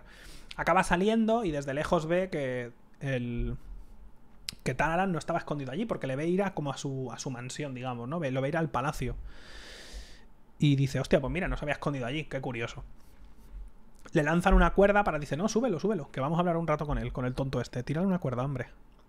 Y Taran sube, pero le, tiran al suelo y le dice, y él dice, por favor, como sal, salvad a mi familia. Yo soy un animal, dijo Dalinar en voz baja. Los animales, siguió Dalinar, reaccionan cuando se los pinchas y los fustigas se vuelven salvajes. Con un animal se puede iniciar una tempestad. Lo malo es que una vez que se ha vuelto fiero no puedes apaciguarlo con un silbido. Y él dice, por favor, mis hijos. Hace años cometí un error, dijo Dalinar. No volveré a ser tan necio. Se acaba de matar hasta sus hijos. Pero aquí, y esto no me acordaba, ¿eh? porque incluso en este momento que está totalmente ido, el propio Dalinar quiere parar. Incluso aquí. Eh, porque está muriendo toda la gente. Dalinar exhala una larga bocanada de aire, como que está mirando todo lo que está pasando y al final hace... Y para. O sea, se, se consigue controlar eh, ya es suficiente, dijo volviéndose hacia Sadeas. Que el resto de la ciudad escape por la boca del cañón del fondo. Nuestra señal está enviada. ¿Cómo? se sorprendió Sadeas. Dalinar. Una sucesión de crujidos lo interrumpió. Una sección entera y próxima de la ciudad se derrumbó hacia las llamas. El palacio y sus ocupantes se precipitaron con ella, en una tempesta de chispas y madera astillada. Sí, sí, el Kadash está mirando y está flipando. Que aquí es esto, si os acordáis, cuando Kadash en el presente y están en la zona que, están entrenando, ¿os acordáis? que le dice, recuerdo lo que pasó en Rázalas. Él se acuerda, en ese momento Dalinar no, pero bueno.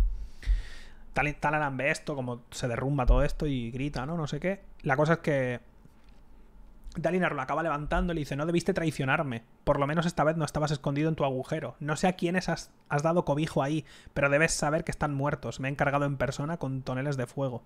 Talaran le mira, parpadea y empieza a reír. No lo sabes, ¿cómo puedes no saberlo? Pero has matado a nuestros mensajeros. Pobre idiota, pobre y estúpido idiota, porque cuando salen los mensajeros los mata directamente. Sin ni siquiera preguntar. Y aquí Dalinar está mirando como dice, un momento, ¿qué? Ella ha venido a nosotros, dijo Talalan, para suplicar. ¿Cómo puedes no haberte dado cuenta? ¿Tan mal supervisas a tu propia familia? Ese agujero que has quemado ya no lo usamos para ocultarnos. Lo sabe todo el mundo. Ahora es una cárcel.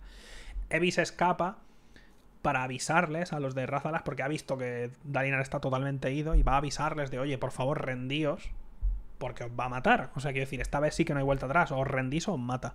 Y claro, los de la grieta ven que la mujer de Dalinar ha ido y entonces la encierran la meten en este sitio que ahora actualmente es una cárcel, porque, joder, va bien para negociar, no me jodas. Entonces Evie se queda ahí encerrada y claro, cuando viene el colgado este con un barril y lo quema, pues se la carga. Y aquí es cuando Dalinar enseguida se derrumba, en cuanto se da cuenta, en cuanto suma uno más uno, dice, volved, ¿sabes? Id allí, ¿no? Por favor, id, No, no, puede ni acabar, como que se traba y todo, se está como derrumbando al instante, que incluso la emoción como que se corta al momento, como que se... Mm, enseguida es como, ¡pum! Intenta ir y todo y no, no es capaz, hay fuego y que no se puede, vaya.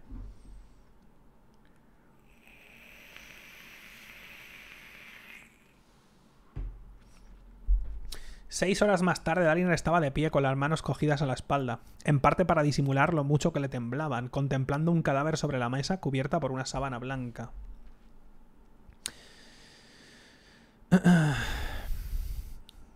¿Lo pone aquí?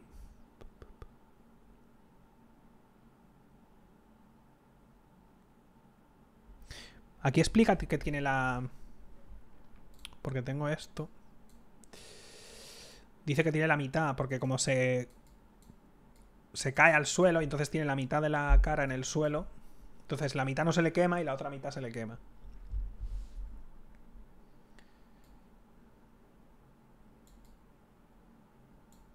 Y esto es de Boti... ¿eh? Botanikachu, que está... Creo que es una chica que hace un montón de fanarts. Entonces... Bueno, se aprieta contra la pared. Bueno, lo que sea, da igual. Está muerta. Solo se le quema la mitad de la cara, sí. Que de hecho la mira y dice, la tenía la mitad quemada y la otra mitad todavía. Como que la era ella, ¿sabes? Como que es súper. Bastante triste, ¿vale? Había bajado a la grieta para suplicarles que se rindieran. Había visto en los ojos de Dalinar que no pensaba perdonarles la vida, así que con la ayuda del Todopoderoso había salido a hacer cuanto pudiera. Además, Dalinar lo dice. Dice, esto no es no es ni siquiera una estratagema de una mujer boring, boring, una mujer Aleci que intenta hacer algún tipo de estratagema política, que era de verdad, o sea, que fue a avisarles porque temía totalmente por, por la vida de esta gente, porque ya hemos visto que Evie es como súper buena, es un ser de luz. Y ya intentan, es que, es que es increíble. Han pasado seis horas. Está Dalinar con el cadáver de su mujer. Y ya están todos, todos los Aleci estos de la, de la, todos los que están aquí en el campamento están todos intentando tramar a ver qué coño ha pasado. Como nos ha traicionado. ¿Qué van a decir, rollo? Nos ha traicionado. Estaba trabajando para ellos. Pero qué coño ha pasado aquí enseguida, ¿sabes? He dicho que no nos traicionó. Que no se conozca el hallazgo de su cadáver. Di a la gente, diles que, mi, diles que a mi esposa la mató un asesino anoche. Haré que los pocos miembros de mi élite que saben la verdad juren guardar el secreto. Que todos crean que murió como una heroína y que la destrucción de la ciudad ha sido, ha sido en venganza.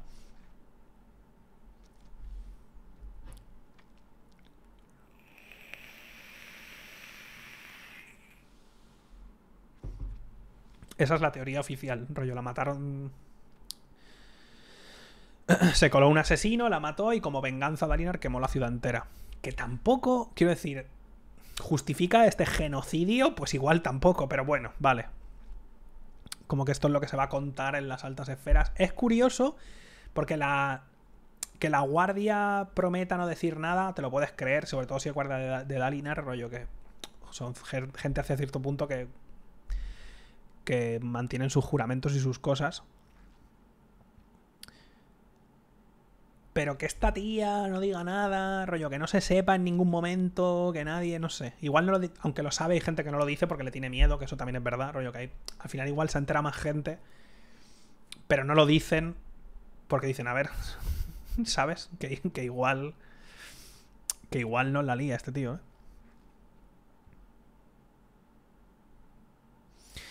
Dalinar dejó que se ocuparan otros del cadáver. Mientras salía de la tienda, se le sorprendió, lo sorprendió oír los chillidos de aquella gente de la grieta. Se detuvo, preguntándose qué serían. Nadie más parecía captarlos. Sí, eran unos chillidos lejanos. ¿Estarían en su mente, tal vez? A sus oídos parecían todos de niños, los que había abandonado a las llamas. Un coro de inocentes que suplicaban ayuda, piedad. La voz de Evie se unió a ellos. ¿Cómo no vas a pedir que te borren la memoria? En fin.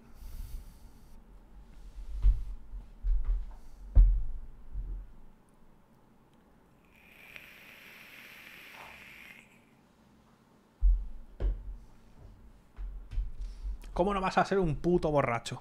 Pues eso. Capítulo 77. Que empieza así, por cierto, en la parte de arriba. Debe hacerse algo con los restos de las fuerzas de Odium, los Parch, como los llaman ahora. Siguen guerreando con ímpetu, incluso sin sus amos salidos de condenación. Que de esto no me acordaba, pero ahora hablaremos del tema porque esta es la primera parte. En los siguientes capítulos veremos arriba ciertas cosas que hablan de por qué entraron en forma gris, básicamente. Habla el tema de la, de la energía esta... De la energía Coño, de la energía del vacío y demás. Que esto no me acordaba, tío.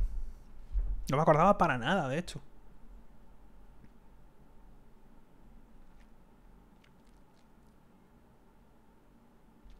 El chakra, sí. A ver, ¿qué, pasa en este capítulo que no me acuerdo? Ah, aquí hay un par de detalles guay, porque este capítulo está Caladín, que va a un. Hay una viene la tormenta la tormenta eterna y van a un refugio y se sienta Kaladin con Adolin y con Shalan y están hablando un poco. Sí, puedo quitar esta foto ya, ¿eh? Vamos a quitar esta y vamos a quitar esta también. Y Kaladin está mirando a Shalan y a Shalan y Adolin. parecía embelesada del todo con él. Kaladin se alegró por ella. Todo el mundo merecía a alguien que le proporcionara luz en aquellos tiempos, pero y las miradas que dedicaba a Kaladin de vez en cuando, en los momentos en que no parecía del todo la misma persona, una sonrisa distinta, con una mirada casi traviesa en los ojos. Te imaginas cosas, se dijo. Ahí está viendo a Velo, él no lo sabe.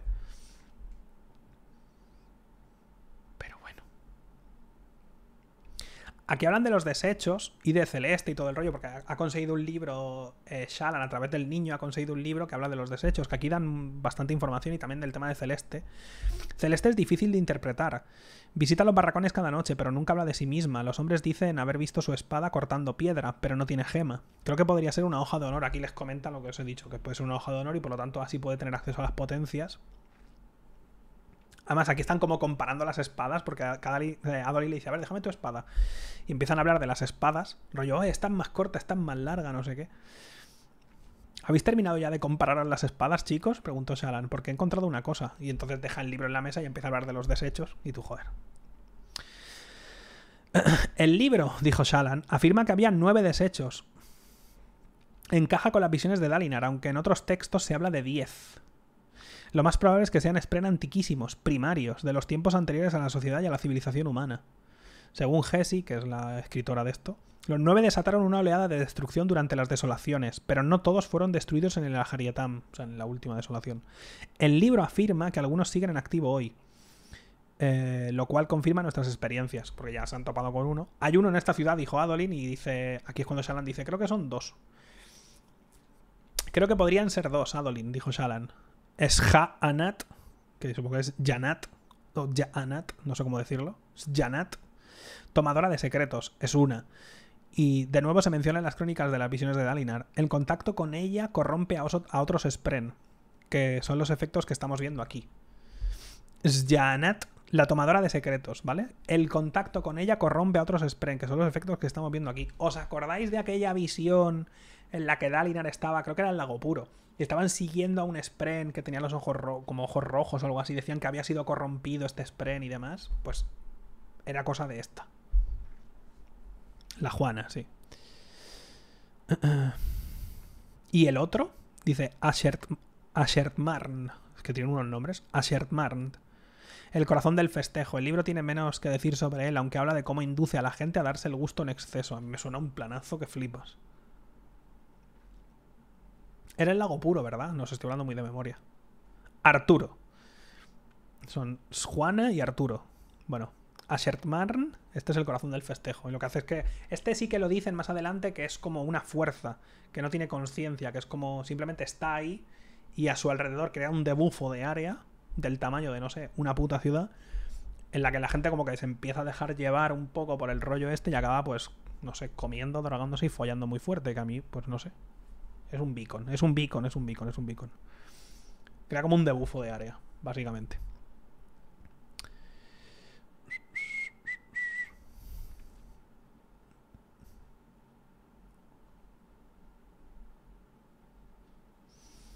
siguen hablando un poco. Aquí otro detalle que he subrayado también.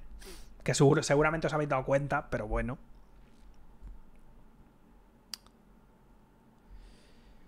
Siguen hablando un poco así como que no quiere la cosa y subrayo. Se quedaron callados, oyendo cómo se sacudía la estancia con los sonidos de la tormenta. Kaladin se terminó la bebida, deseando que fuera alguna de las que preparaba Roca, y echó, eh, echó un capirotazo a un cremlino muy raro que vio subiendo por un lado de la mesa. Tenía muchas patas y el cuerpo bulboso, con una extraña marca eh, parda en el lomo. Y tú anda. ¡Anda! Un insomne por aquí. Otro más, hay un montón en los libros. Si ahora los volvéis a leer, os daréis cuenta que hay un montón. Los insomnes, correcto, son insomnes. Estos lo saben todo, tío. Están en todas partes.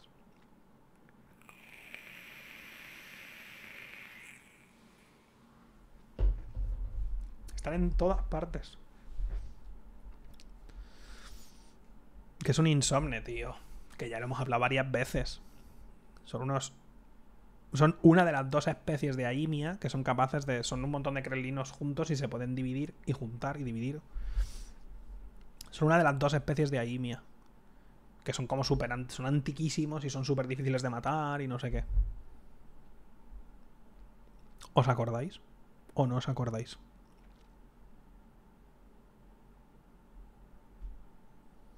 No, no, los insomnes estaban con los radiantes. De hecho, se lo dicen en algún momento que participaron en las peleas. O sea, que estaban de.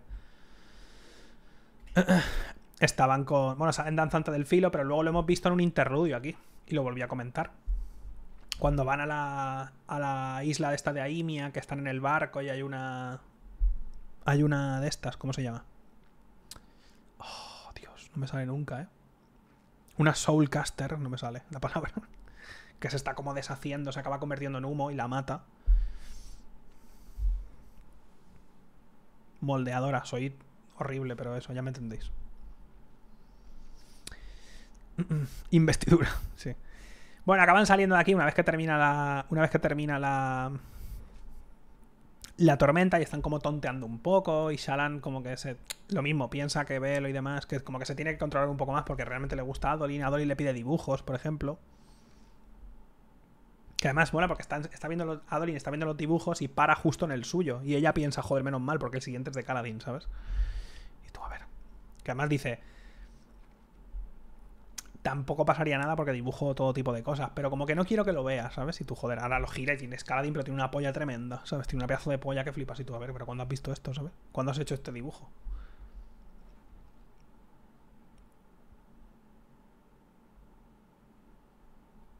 Que le gusta el número 10 es a Honor.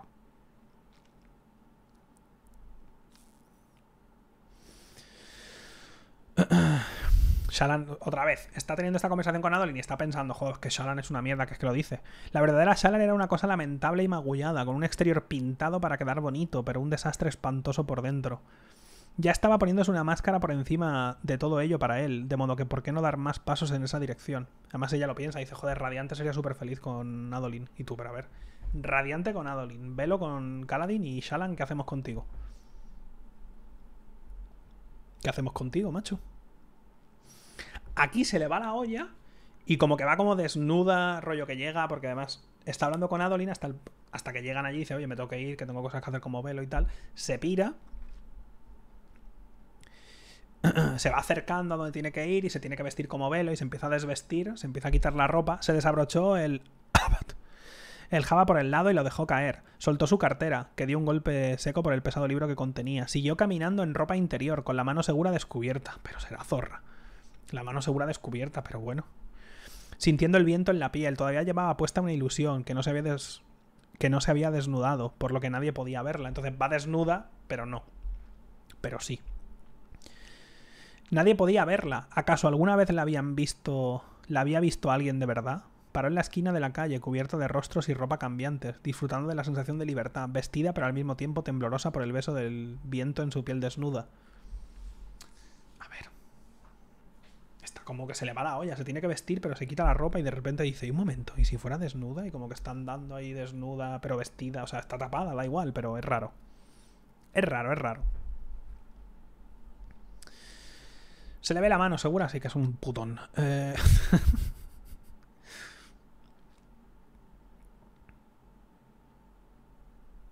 Ah, no me acordaba de esto, por cierto. Porque aquí al final como que sale de este trance un poco extraño que tiene, que dice, a ver, ya está, me voy a concentrar. De hecho, en cuanto se mete en el estado de mente, digamos, de cuando se transforma en Velo del todo, Velo dice, pero tú eres tonta, niña, vístete, ¿sabes? ¿Qué haces aquí perdiendo? Que te podían robar la ropa, creo que piensa, ¿no? Entonces se viste, entra. Y... Está en el bar donde estuvo con Sagat, pero está con... Con este, ¿cómo se llama? Con el Batat, sí, está hablando con este. Yo no me acordaba de esto el Batá se hace un escudero. Se hace un escudero de los tejedores de luz. No me acordaba para nada. Como que se asusta porque está hablando con él y de repente entra el posadero. Y el tío este se pone tenso y hace una ilusión. Y el tío dice, guau, ¿qué ilusión más rara has hecho? Y dice, no, no. Shalan dice que no la he hecho yo, que la has hecho tú. No he sido yo, respondió Velo. Te has asustado y ha sucedido. Seguro que las primeras veces siempre son accidentes. Recoge todo eso, llevaremos a cabo la misión como está planeado. Y él dice, y además le dice, practica. Dice, ¿cómo que practique? Que no soy, que no soy un caballero radiante. Dice, ah, puede ser un escudero, quién sabe, ¿no? No me acordaba, tío. No me sé que me acordaba de los escuderos de los corredores del viento, obviamente, pero no me acordaba para nada que Shalan de repente tenía este pavo como escudero. Cero. No me acuerdo para nada. Pero para nada. Capítulo 78. Es que a este ritmo, tío, llevo ya hora y media. Vistiendo relativamente rápido, pero ya, tengo, ya noto la voz regular. El festejo y empieza. Se ha formado una coalición entre los radiantes eruditos. Nuestro objetivo es negar al enemigo su suministro de luz del vacío. Esto impedirá sus transformaciones continuadas y nos otorgará ventaja en combate. Ojo que si pueden... No me acordaba de esto tampoco. Si pueden negar el uso de la luz del vacío, lo estoy pensando y digo, hostia, hostia, hostia para el cuarto libro.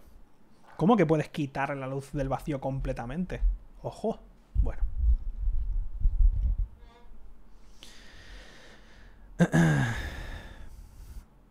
Además aquí está ya yendo al festejo, por ejemplo, porque le han invitado. De hecho, acaba que han, le han, invitado, ¿no? Entonces va. Y ella piensa, coño. El enemigo conocía su aspecto. Debería haber creado una personalidad nueva, un rostro falso, para no exponer a Velo. Pero Velo ya es un rostro falso. Piensa. Siempre puedes abandonarla. Estranguló esa parte de ella y la hundió en las profundidades. Velo era demasiado real, demasiado vital para abandonarla. Sería más fácil dejar a Shalan. Que aquí yo también pensé, ¿se le va a ir la putísima olla hasta el punto de que Shalan muera? Rollo, el la persona, o sea, su personalidad y que nunca más exista Shalan. Rollo, que a partir de, yo qué sé, del siguiente libro o en el siguiente, lo que sea, de repente es velo y punto. Ya está, rollo, no existe Salan, ha muerto. Y tú, pero bueno, no sé. No me acordaba tampoco de la conversación que tiene con Sagaz y mola un huevo, tío. De hecho, creo que es después de que salga de aquí, ¿no? Sí, es después.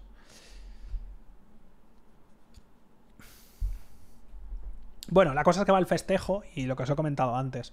El festejo es una cosa bastante extraña. O sea, además hay como... Está la puerta jurada y alrededor hay como anillos, digamos. Hay como anillos de gente que está como bailando alrededor. Y hay como una pira de fuego y hay como gente bailando alrededor y conforme te vas acercando al anillo, la depravación aumenta a unos niveles que dan putísimo miedo. Porque cuando sube la primera, las primeras escaleras hay como comida, hay muchísima comida y la gente está como un poco ida, pero no tanto, los rollos son capaces de hablar y demás. Y le dice, porque tiene un guía, tiene un guía que le dice, no, no te puedes acercar ahí, no puedes entrar en el círculo de dentro, ¿no? O sea... Uy, ah, que este capítulo es que están los dos a la vez, es verdad, es Kaladin y Shalan, va cambiando de... Va cambiando de punto de vista, pero bueno. Creo que con Kaladin no pasa nada. Bueno, sí, cuando habla, da igual. Se movían, dice, habla de los que están ahí como bailando, ¿eh? Se movían como un banco de peces, fluyendo de, derecha a izquierda. Velo distinguió soldados, tanto ojos claros como oscuros, vestidos con restos de uniformes. No parecieron fijarse en ella ni en Karat, que es el tío que la acompaña, el que tiene que vigilarla. Tendrían que internarse en aquel flujo de gente si quería llegar al edificio de control de la puerta jurada. Empezó a hacerlo, pero Karat la coge del brazo y dice, no, no, no te acerques. Y aquí está escuchando lo de renuncia a tu dolor, festeja, date el gusto, abraza el fin. Lo vuelve a escuchar otra vez. Aquí Shala, mola porque el tío le dice, oye, ¿quieres Rollo, ¿quieres follarte a alguien o cómo va esto? Porque Shalan dice, me tengo que ir un momento, como que quiere ir a un sitio. Y el tío le sigue y es una habitación y Shalan va a entrar y el tío, ¿entro contigo? O sea, que decir, ¿vamos a follar aquí o qué hacemos? ¿Estás buscando a alguien para reventarte lo que hacemos? Y aquí Shalan como que dice, no, espérame fuera, eh, vigílame pero desde lejos. Y aquí envía a Patrón a que le diga el rollo, la frase esta, que se la diga otra vez y el tío dice, voy a beber otra vez. Entonces, así es como se... Seguro que oye voces, eso es la palabra, ¿no? Puedo aprovecharlo. Entonces envía a Patrón y Patrón le dice, date el gusto, busca algo de beber, únete al festejo. Entonces el tío dice, mm, algo de beber suena bien. Y se va y se hace un cacaolata. Y vuelve. Entonces en este rato ella aprovecha para hacerse otro traje de luz, que ya es... Ahora mismo es Shalan vestida como velo, vestida como un random de la fiesta esta. O sea, hay unas capas de mentiras unas encima de otras que yo ya no sé ni quién es quién. Es una cosa muy extraña. Aparte de esto, este capítulo es doble, o sea, estamos viendo el, estamos viendo el punto de vista de Shalan y Kaladin, por su parte, ha, lo mismo, ha vuelto a la guardia y aquí esta noche venía Celeste a, a, cenar y se sienta con ella. Todo el mundo se queda tenso porque nadie se sienta en la mesa de los generales, digamos. Se sienta y empieza a tener una discusión que me gusta un montón, no me acordaba. Pero cómo se nota que los dos saben qué pasa, saben, cómo se nota que los dos tienen información que el resto no tiene por un lado Celeste, que está haciendo sus cosas y viene de otro sitio, hasta que, no lo sabes hasta más adelante, pero bueno. Y Kaladin a su vez, como que sabe cosas también. Y están como los dos hablándose bastante, que hay un, hay un shipeo guapo, ¿eh? Yo digo, esto se pueden comer la boca también, ¿eh? Pero bueno. Tienen como una discusión así, rollo, ¿eh? No me han dicho lo de la cicatriz. Dice, no, porque no las he dado, señora. No tengo aprecio a los recuerdos que me valieron la cicatriz. Además mola, esto me ha hecho mucha gracia, por eso lo he subrayado. ¿Cómo acabaste en esta ciudad? preguntó Celeste. Las tierras de Sadeas están lejos, al norte. Según los informes hay varios ejércitos de portadores del vacío entre allí y aquí. Llegué volando. ¿Y tú? Esto mola porque tú sabes que es verdad que literalmente llegó volando, pero también te sirve como para... Como que no quieres responder, que te diga, ¿por cómo vení? Tú llegué volando. ¿Y tú de dónde sales? Y tú, señora, no podías estar en la ciudad mucho antes de que empezara el asedio, porque nadie comentaba, nadie comentaba nada de ti antes de eso. Dicen, dicen que apareciste justo cuando la guardia te necesitaba. Entonces me hizo mucha gracia eso. Están ahí como, no, a ver. la tontería está de que nadie puede decir que eres una mujer y ella dice, ese jueguecito se les ocurrió a ellos, son Aleci. Como, son Aleci, ¿y tú qué eres? Son Aleci, así que necesitan una excusa para estar haciendo caso a una mujer que les da órdenes militares. Fingir que existe algún misterio les permite concentrarse en eso y no en su orgullo masculino. A mí me parece una bobada. Dime la verdad, ¿has venido aquí persiguiéndome? Dice Celeste. ¿Persiguiéndote? Y piensa Caladín, ¿pero qué me estás contando? Y enseguida suenan las alarmas y todos se ponen a las armas.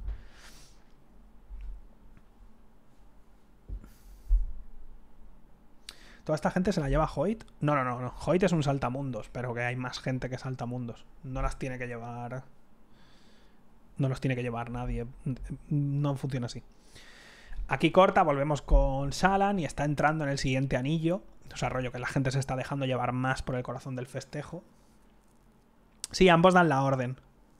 Bueno, sí, se levantan a la vez, rollo suenan las alarmas y los dos como que están teniendo esta conversación mirándose fijamente y de repente suena la alarma y los dos se levantan y dan la orden.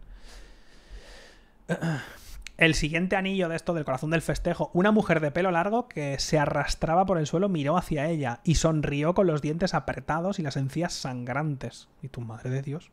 Reptó una mano tras otra. Y tú, pero bueno, ¿qué está pasando, sabes? Aquí ya están todos por el suelo arrastrándose, la comida está en las mesas podrida porque lleva ahí un montón de tiempo, pero además hay varias referencias a que el tiempo no pasa de la misma manera, por lo menos que tú no te das cuenta de que el tiempo pasa de la misma manera. Aquí ya lo comentan de alguna forma y luego vemos cuando entran a Palacio que hay unos soldados que se han encerrado y dice, pero si llevamos aquí tres días. Y Adolín saben que llevan semanas ahí encerrados. Pero que no se han dado ni cuenta, como que el tiempo no lo, ven de la misma manera. debe ser simplemente es la influencia de un desecho, ¿no? Que te distorsiona tu percepción del tiempo, pero luego lo piensas y dices, pero esta gente no está comiendo. Quiero decir, no está comiendo nada. ¿Cómo va el tema este? No se mueren.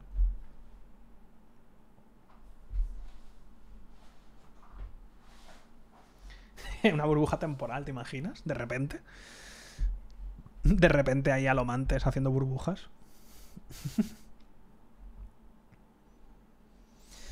bueno, la cosa es que Shalan consigue cruzar al. Bueno, velo. Consigue cruzar del todo y al final. En la puerta jurada, ¿qué es lo que ve? Pues de nuevo, en vez del edificio de control encontró una masa gigantesca. Algo había cubierto la estructura por completo. Igual que la madre medianoche había envuelto la columna de gemas debajo de Uriciru. Y esto es un corazón como que palpita muy extraño. y está haciendo late y está haciendo, está diciendo esto que ella escucha, ¿no? Pero ella se acerca, como que ve la cosa esta, entonces mira, miró a su lado y encontró su sombra en el suelo, señalando en la dirección contraria, hacia la luz de luna en vez de en sentido opuesto. La sombra subía por la pared, dotada de unos ojos que eran agujeros blancos que emitían un, un tenue brillo. Que esto es un detalle importante. De momento hemos visto a los malos, digamos, a los malos, a Odium y sus fuerzas que tienen siempre los ojos rojos. ¿Vale? Y el desecho este que dice ser bueno, que es esto, tiene los ojos blancos. Ya van varias veces que lo ponen como detalle importante, rollo, los ojos blancos, ¿sabes? Dotada de unos ojos de gran agujeros blancos que emitían un tenue brillo. No soy tu enemigo, pero el corazón es una trampa, ten cuidado. Justo aquí escucha los tambores de guerra, que es lo que está escuchando Kaladin, o sea, este es el mismo momento. Y aquí es cuando ella eh, usa su cuerda huida, ¿vale? Mira en su bolsa. Mira su cuerda huida y se tira, porque así es como había quedado con el otro, que si pasaba algo se tiraría y se estamparía contra el suelo y luego quedaban fuera, ¿no? Era su manera de escapar. rollo que se lanza al vacío y ya, oye,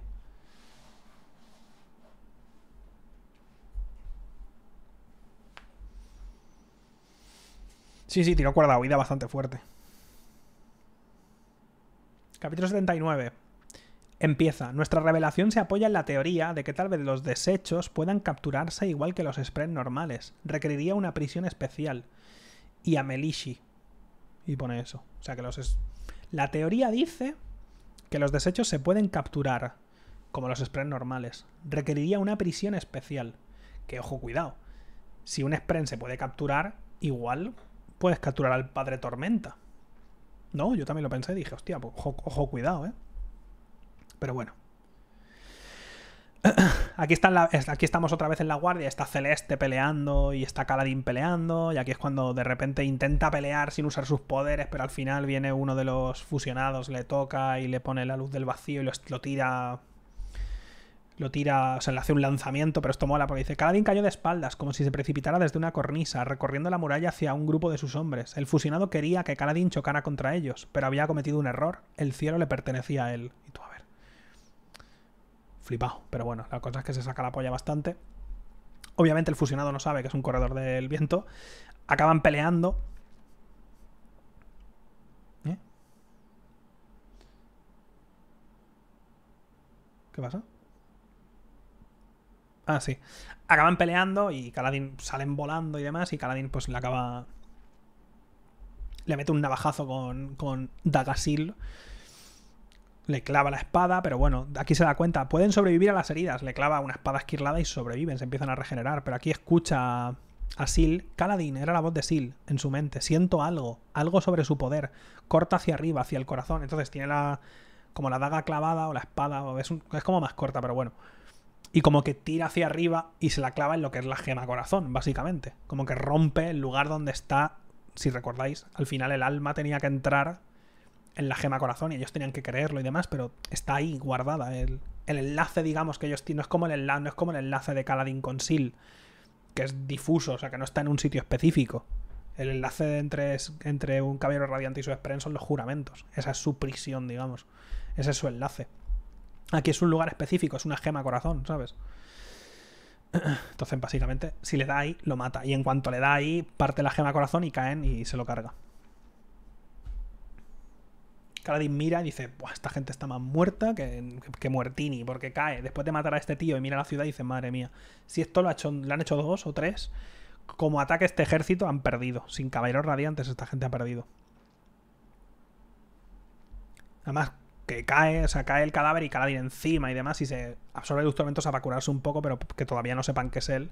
Y están todos como mirando, la guardia está como diciendo, pero tío, han matado a uno, ¿sabes?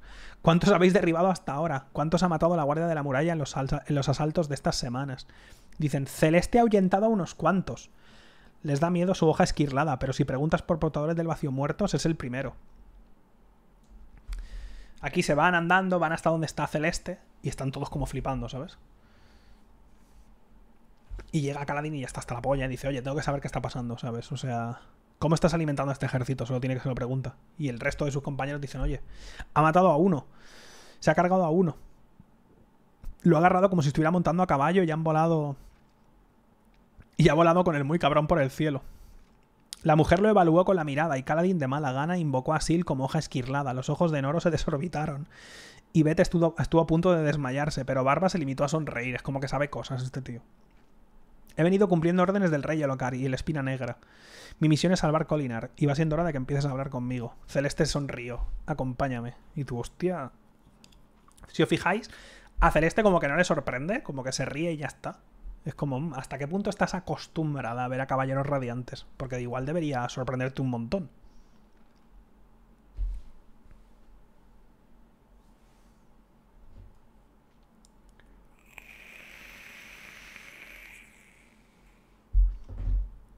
Esto es importante, porque lo he subrayado y esto es lo que os estaba diciendo. Que también vaya puto nombre de mierda, pero bueno. Va Ado Misram, que este es otro de los desechos. Va Ado Misram ha conectado de algún modo, con C mayúscula, por cierto, con el pueblo Parch, como hizo en su momento Odium. Les proporciona luz del vacío e incita sus formas de poder. Nuestro, nuestro equipo de asalto va a apresarla. O sea, este es el, este es el, este es el desecho que les da. Eh, que les da la energía del vacío. Entonces... Ojo.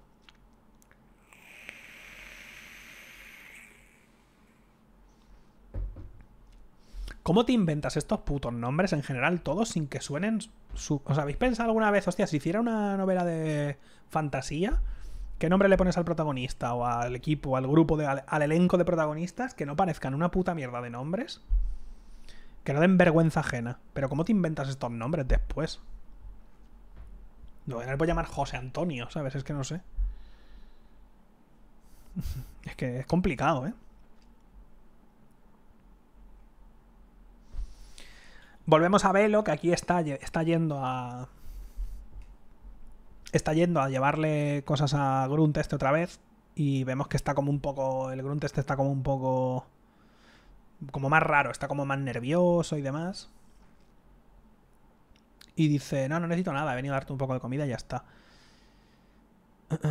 Entonces Velo está como, dice, mm, aquí pasa algo raro. Entonces sale, da la vuelta y vuelve, como que se pone a mirar desde lejos y demás y, y escucha voces. Y aquí ve que hay unos chavales como que le están pegando.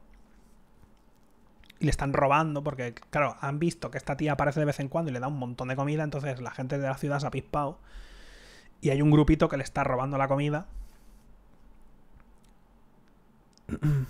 Y ella entra de repente gritando, eh, no sé qué, y le pegan una hostia en la cabeza y lo matan, ¿sabes? Básicamente.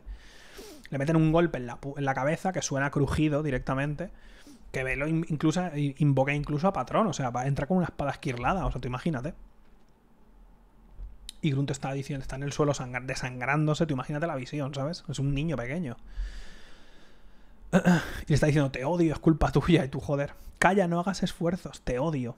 Te he traído comida, Grunt. Los trajiste a ellos. Ibas por ahí baboneándote y regalando comida. ¿Creías que la gente no se daría cuenta?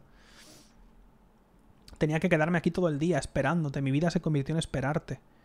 Porque le obligan. Te tienes que quedar aquí a esperar porque esta tía trae comida, así que te vas a quedar aquí. Cuando venga, te vamos a robar. Y se lo cargan. Y aquí ella se da cuenta y dice, hostia, no solo tú. Porque el Grunt este le envió a otra gente de la ciudad. Entonces ella se va corriendo, va a ver a otra que es la mujer esta que tiene hijos, y hasta la tía le dice, ojalá te hubieran muerto tú, porque cuando dice ella, se ha muerto, han ido por él, lo han matado, dice, joder, pues ojalá te hubieran muerto tú. Y está como de repente le pega un bajonazo que flipas. Porque intenta hacer algo bueno, realmente, o sea, intenta hacer algo bueno y sale bastante regular.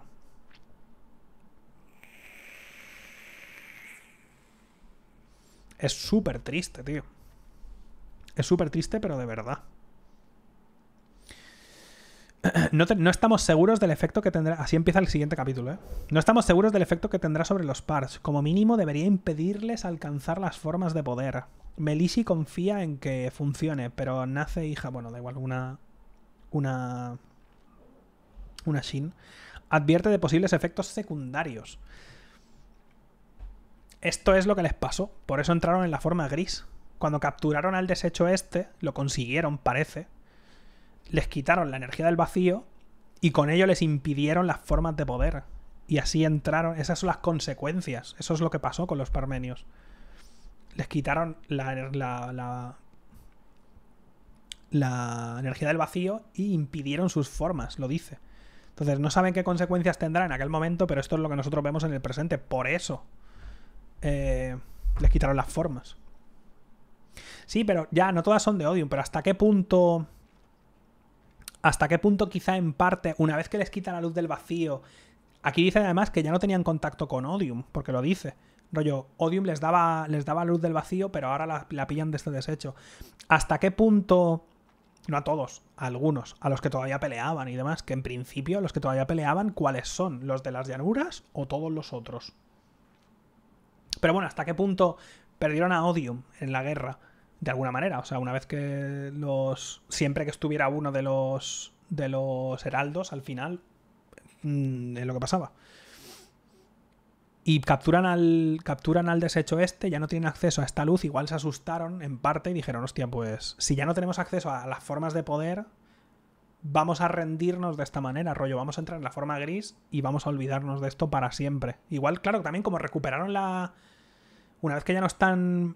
No tienen la, el rollo, el, el, malmeter de odium y los desechos, igual ellos mismos recuperaron la, conciencia y dijeron, coño, igual no podemos tener acceso a esto de ninguna manera por el bien de todo el mundo, porque si tenemos acceso a esto, se acaba. O sea... Sí, igual en parte fue eso, en parte igual masacraron a todos los que no fueran forma gris, por ejemplo, rollo, oye, no tenéis acceso a la forma de poder, vamos a mataros a todos los que no seáis forma gris. Algunos escaparon a unas quebradas y acabaron siendo, con el paso de mucho tiempo, eh, los otros. No lo sé. No lo sé, no lo sé. No me acuerdo, la verdad. Aquí cuando le explica, volvemos a Caladín y aquí están ya donde han ido, que tienen como un pasaje secreto, como por debajo de la muralla y demás, que dice, Celeste dice que esto lleva ya mucho tiempo, que no es que sea de ahora, ¿sabes? Hay como una puerta y demás. Y...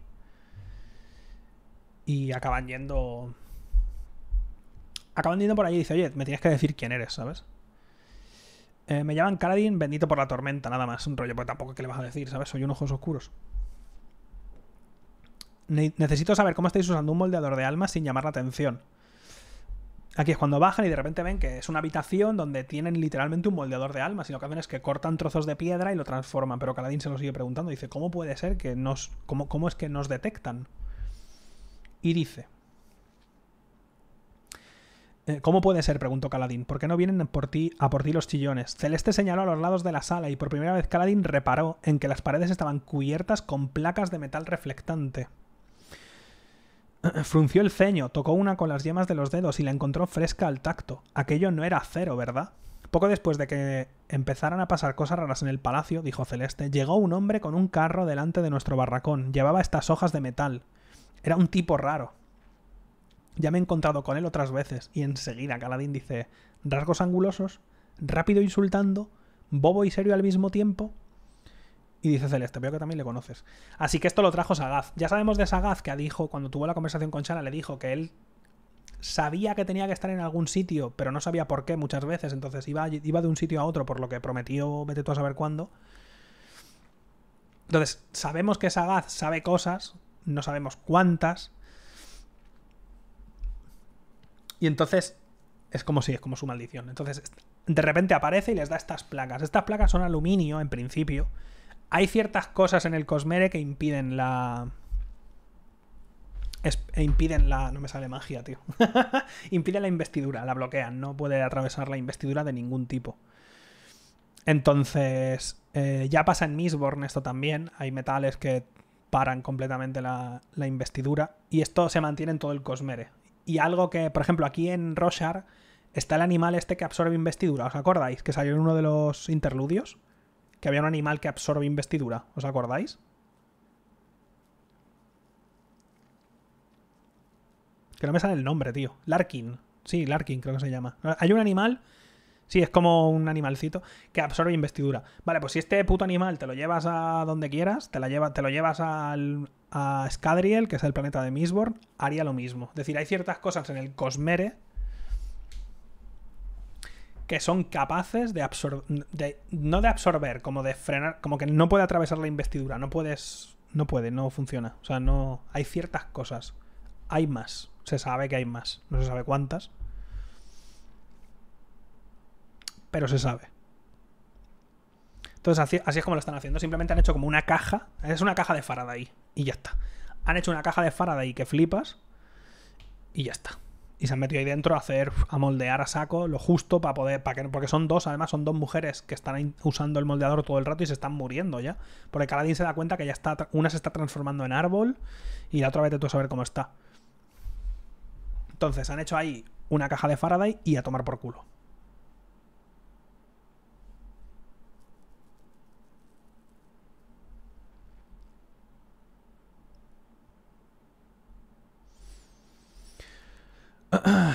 Estoy hecho polvo, ¿eh? Capítulo 82. Aquí es. eh, este es el capítulo en el que Shalan está como en una habitación, está a oscuras, está hecha una puta mierda por lo que acaba de pasar. Que no ha podido hacer nada, rollo, no puede hacer nada en la ciudad y al- a los pocos, o sea, no ha podido hacer nada con el corazón del festejo. Y a estos que ha intentado ayudar, a los pobres, los han cargado, o sea, tú imagínate, está hecha una puta mierda. Y aquí tiene toda la conversación con Sagaz, que es súper interesante. Y aquí, por cierto, vemos parte de los poderes de Sagaz un poco, como em- empieza a hacer. Empieza a hacer con la arena cosita y le pide ayuda a Shalan. Y luego él puede usar la luz de Shalan, también como que le quita luz tormentosa. Es una cosa muy rara. Como que no se, no quedan nada claros sus poderes. Pero sabemos, se sabe. Cosas que hace con la arena, por ejemplo, se sabe de dónde vienen. Por lo menos se sabe de qué planeta son esos poderes.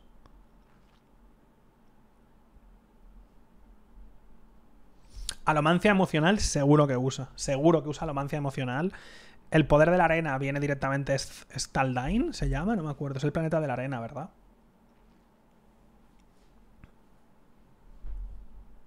Bueno, tiene, tiene poderes de diferentes. Digamos que tiene bastante investidura de diferentes sitios.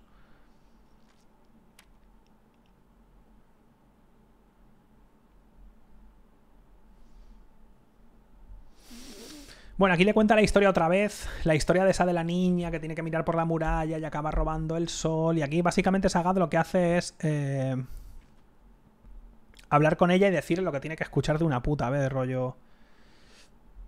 Tío, o sea, tienes que ser tú de una puta vez, tienes que aceptar quién eres, no, no te puedes esconder detrás de Velo, puedes ser Velo, pero aceptar que eres Shalan realmente y que Velo es una parte de ti y Radiante es otra parte de ti, que no son cosas separadas, que no que cada una de estas partes no es una persona por su cuenta, que puedes ser tú en todas ellas y dejar de, culpar, de culparte de una puta vez.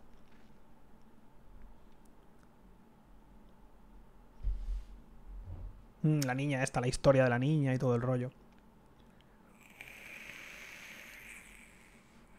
Es verdad, tiene alientos también, o sea que también ha pasado por, por el otro planeta, o sea que tiene... Es que el tema de los alientos de los dioses va por número de alientos y estás en un nivel y tienes unos poderes específicos, que eso también lo tendríais que leer. Vamos, que Hoy tiene de todas partes. El tío.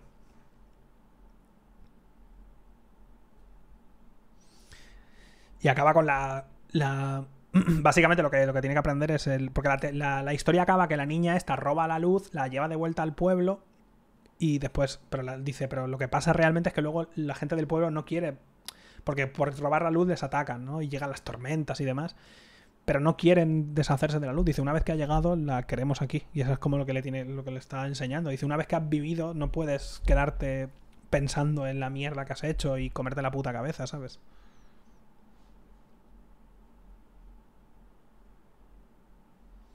Si es un tejedor de luz, ¿dónde está su espren? Aquí no está tejiendo luz. De hecho, le pide ayuda a ella, le dice, oye, ¿puedes ayudarme? A él está, él está haciendo formas con la arena, que eso es un poder de Taldain. Pero no está tejiendo luz. Ella teje luz. Y hace una, y hace una de estas que flipas, por cierto.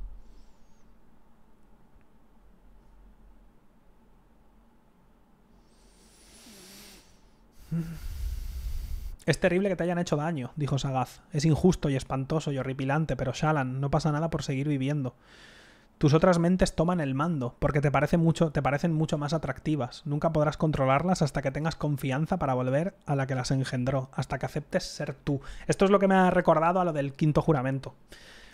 Que tiene una pinta que flipas que va a ser ese, tío. Es que tiene una pinta, tío, que, que es verdad que su quinto juramento va a ser aceptar de una vez que es ella.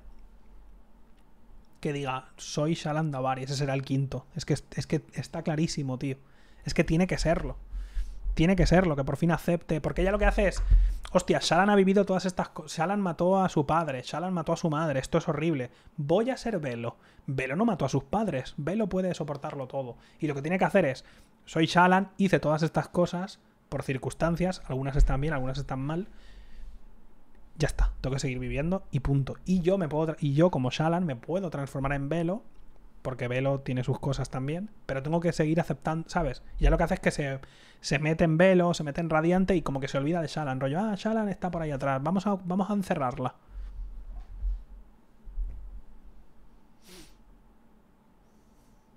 Encuentra el equilibrio, acepta el dolor, pero no aceptes que lo merecías. El patrón está ahí zumbando como súper feliz. Rollo, hombre, por fin.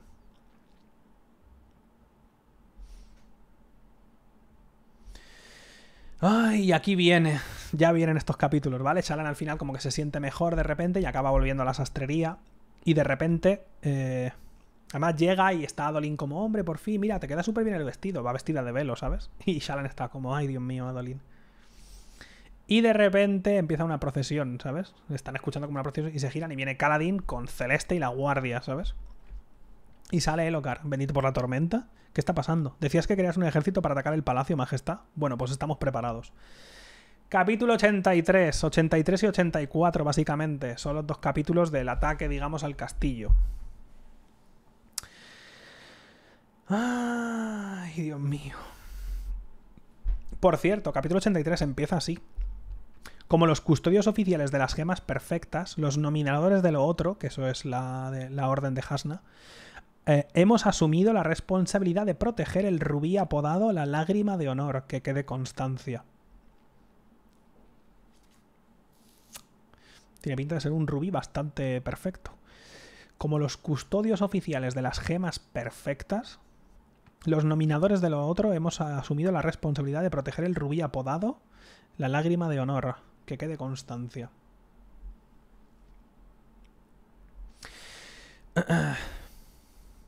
Bueno, aquí empieza el ataque, básicamente. Empieza el ataque al palacio, se junta que van a atacar los. Van a atacar los, los portadores del vacío a la ciudad. Ellos tienen que atacar el palacio, tienen que activar a la vez la. Tienen que activar a la vez la puerta jurada. Un puto lío que flipas. Mola un montón al principio porque vemos un Adeline que se está preparando para la batalla, como hace siempre antes de los duelos, y empieza a hablar con su espada. Otra vez. No tiene su collar, no puede comer comida picante, como hacía el pollo y demás y mira su espada y dice, supongo que antes estabas viva. Los demás dicen que pueden oírte chillar cuando te tocan, que estás muerta, pero de algún modo aún sientes dolor. Lo lamento. Sobre eso no puedo hacer nada, pero gracias. Gracias por ayudarme todos estos años, y si te sirve de algo, hoy voy a usarte para hacer algo bueno. Intentaré usarte siempre así. Y tú, oh, pobrecillo.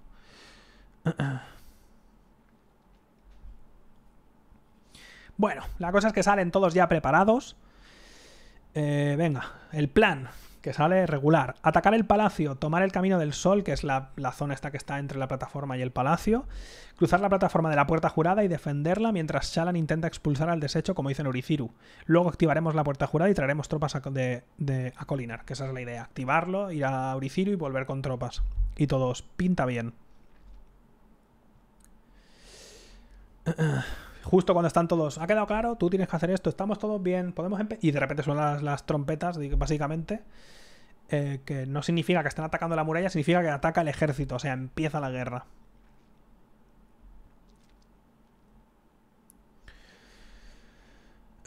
El Ocar está ahí ya como bastante regio, dando órdenes, le da un vínculo a cañas a, a un fervoroso que hay por ahí. Media hora después de que mi ejército marche, debes, debes contactar con Uriciru y avisarlos de que preparen sus fuerzas para trasladarse aquí por la fuerza jurada.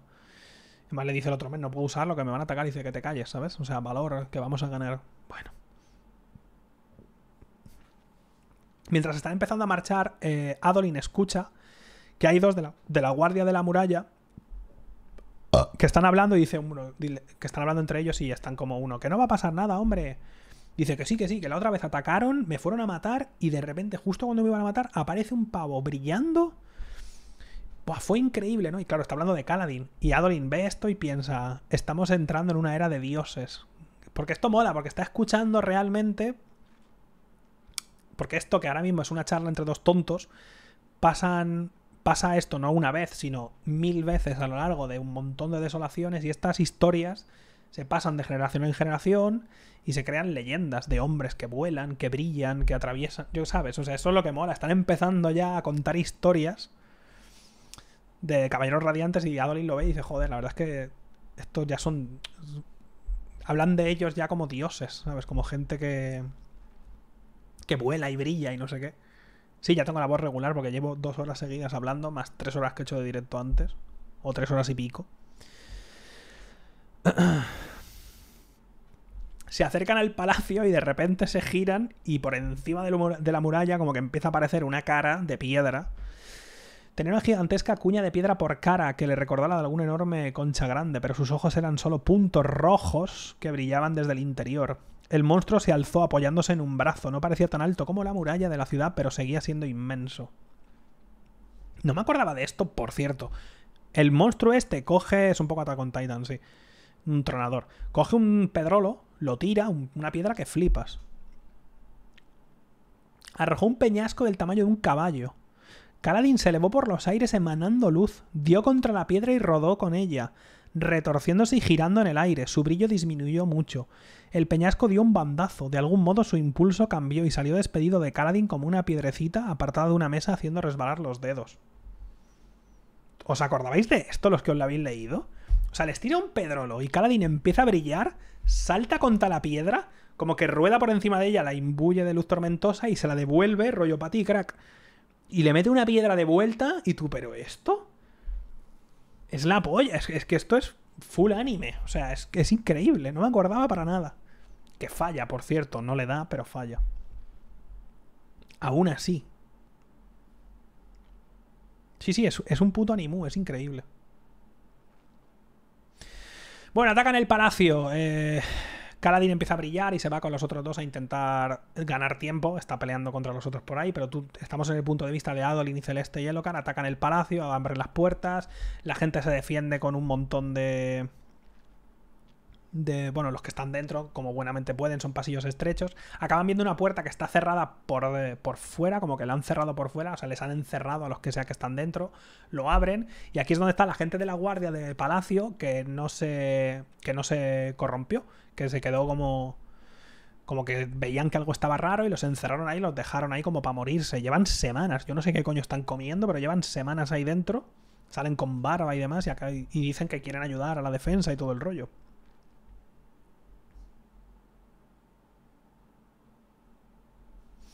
Detalle importante, está pasando todo esto, están en pasillos, está muriendo mucha gente, en fin, cosas.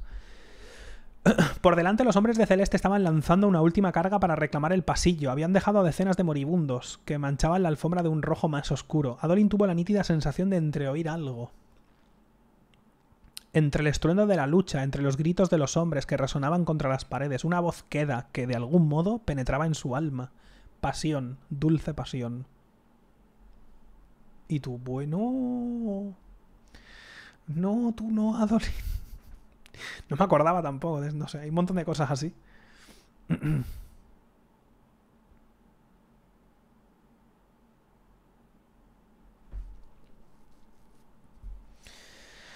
Bueno, pasa esto, ganan, es complicado. De repente entran por la ventana brillando Kaladin y los otros dos, y Cicatriz y el otro. La cosa es Aquí eh, Shalan ha hecho ilusiones para. En fin, da igual. La cosa es que al final. Eh, hay una escalera y tienen que ir a los aposentos reales y ahí es donde va a estar a Esudan. En principio es donde quieren llegar. Eh, quieren llegar a Esudan para cogerla a ella y al niño. Esa es la, esa es la, es el plan que tenían, cogerlos, llevarlos a la puerta jurada, enviarlos allí, que vengan los soldados. Ese es el plan. Está complicado, ¿vale? Por aquí no sé si ha pasado ya, pero en algún momento ha sido cuando Celeste clava la espada y en vez de quemársele los ojos a uno, lo que hace es que se pone gris. Y aquí es cuando Adolin la mira y dice que raro, ¿no? Esto no es normal. Otro detalle importante, el tema de perder el color, ¿vale? Si no lo habéis pillado la primera y habéis leído el aliento de los dioses, aquí ya tenéis que decir, esto es raro, ¿vale? Esto es raro, pero raro. Adolin mira y ve que la ciudad está cayendo, pero muy fuerte. Aún, tiene, aún, piensa que pueden ganar. Aún dice, no, aún nos da tiempo. Si activamos la puerta, seguro que... Va a ser que no.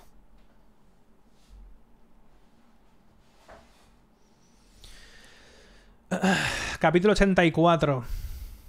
El que puedas salvar.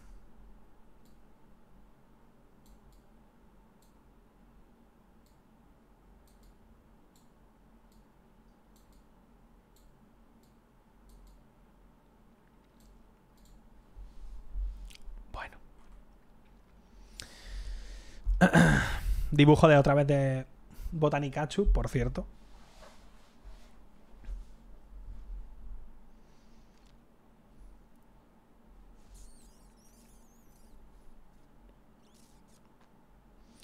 Aquí estamos con el Ocar, ha llegado a, ha llegado a, la habitación de Aesudan. Vemos una Aesudan que está completamente ida. A mí no me gusta este diseño de Aesudan porque es que no sé, me parece... que es este de aquí? Que es de... se llama Soft Peralta. ¿Vale? Es que me parece como súper asiática, no sé. Como que no me cuadra para nada, sinceramente. No sé qué imagen tenía yo en la cabeza, pero... Vemos esa como ese humo negro y los ojos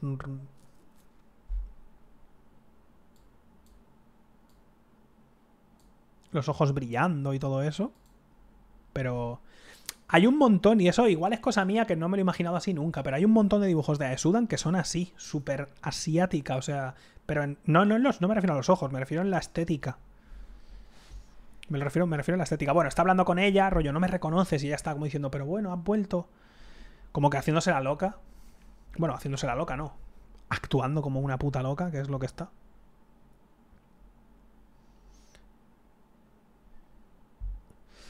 Aparte de esto, tenemos que está Shalan en el corazón, eh, intentando hacer algo. Y primero le clava la espada y el corte como que se vuelve a cerrar y luego le pone la mano y ahí volvemos a cambiar de punto de vista. Querida, hemos oído que la ciudad ha habido problemas últimamente. dice, una de mis fervorosas intentó volver a fundar la hierocracia. Y tú, a ver, igual tampoco fue para tanto. Que ahí es cuando la hace ejecutar Vemos una, vemos una Sudan que no hemos visto hasta este momento y que está totalmente ya ida. O sea, ya nunca la hemos conocido normal, así que no sabemos cómo, cómo de raro es para Elocar, pero incluso como lector, sin haberla visto antes, te das cuenta de que está diciendo cosas que no... Cosas que no... que no... que no, ¿vale? De hecho, Elocar se va a acercar a ella y Kaladin le para y dice, a ver, relájate, ¿sabes? O sea, vigila. Y Kaladin se va a buscar al niño, a Gavinor.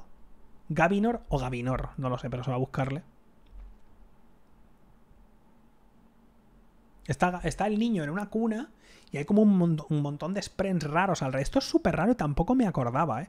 Hay un montón de sprints raros que están haciendo. Le están cogiendo la cabeza al niño y le están haciendo mirar hacia arriba donde hay otros sprints que están enseñándole cosas súper feas. Y Kaladin pone.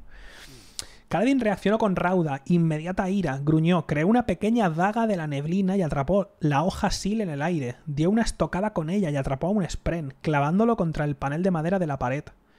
No había oído que una hoja esquirrada pudiera cortar un spren, pero a él le funcionó. El ser chilló con un hilo de voz y de su forma salió un centenar de manitas que dieron zarpazos a, zarpazos a la hoja, a la pared, hasta que pareció desgarrarse en mil pedazos y desaparecer. Hasta la propia Sil dice, hemos matado un Spren. O sea, ¿qué coño es esto? Es súper raro, no sé. Igual esto no son Sprens como tal y son algún tipo de ilusión creada por algún desecho. Es muy raro. Puede ser en verdad que también sea lo de la intención, rollo, que tienes que de verdad querer matar un Spren, rollo, tienes que tener la intención con mayúsculas. Es muy raro. Pero que la propia Sil diga, hemos matado un Spren. O sea, no tiene sentido esto. Y vemos una. Vemos a. Porque además Elocar dice, para. Te quedaste aquí para, hacer esto. Y ella dice, he hecho lo que quería tu padre, ¿sabes? He, he conseguido lo que tu padre no consiguió, le dice. Eh, para continuar la obra de tu padre, descubrí el secreto, Elocar, Spren, antiguos Spren, se pueden vincular. Y tú, un momento. Gavilar no decía eso, según tenemos entendido. Gavilar lo que quería era que los, antiguos dioses de los parmenios volvieran. Pero no vincular un Sprentú, ¿no? No sé. ¿Has visto a mis radiantes? Dice ella. La guardia de la reina, ¿sabes? O sea, rollo. Esos son tus radiantes. Se cree que es una radiante. Es una cosa muy rara. Está como una puta. Está hecha polvo. Y Kaladin se da cuenta, porque ya es cuando dice ya, bueno, al lío. Y ahí es cuando empieza a salir el humo negro, se le ponen los ojos rojos y todo el rollo. ¿Cuánto tiempo llevas planeando esto? ¿Planeando el regreso de mi marido? No hablo contigo, hablo con la cosa que hay más allá de ti. Que es la, que la sombra que tiene detrás y todo el rollo. Yelignar es mi siervo, dice ella. Sí, claro, tiene pinta. ¿O te refieres al corazón del festejo? A Sherman no tiene voluntad aquí cuando, aquí cuando lo explica. Es una mera fuerza de la consunción Debe ser de la consumición, no lo sé. Bueno, es una fuerza, que ya está, que no es, no tiene conciencia. Eso ya lo sabíamos, que algunos, algunos desechos son solo fuerzas y ya está. Aquí es cuando Kaladin le coge y dice, venga, vámonos, y se van corriendo, porque ven que con el Sudán no pueden, pero se llevan al niño. El rey lo miró a los ojos y asintió abrazando, abrazándose al niño. Echó a andar hacia la puerta y Kaladin lo siguió sin apartar los ojos de la reina.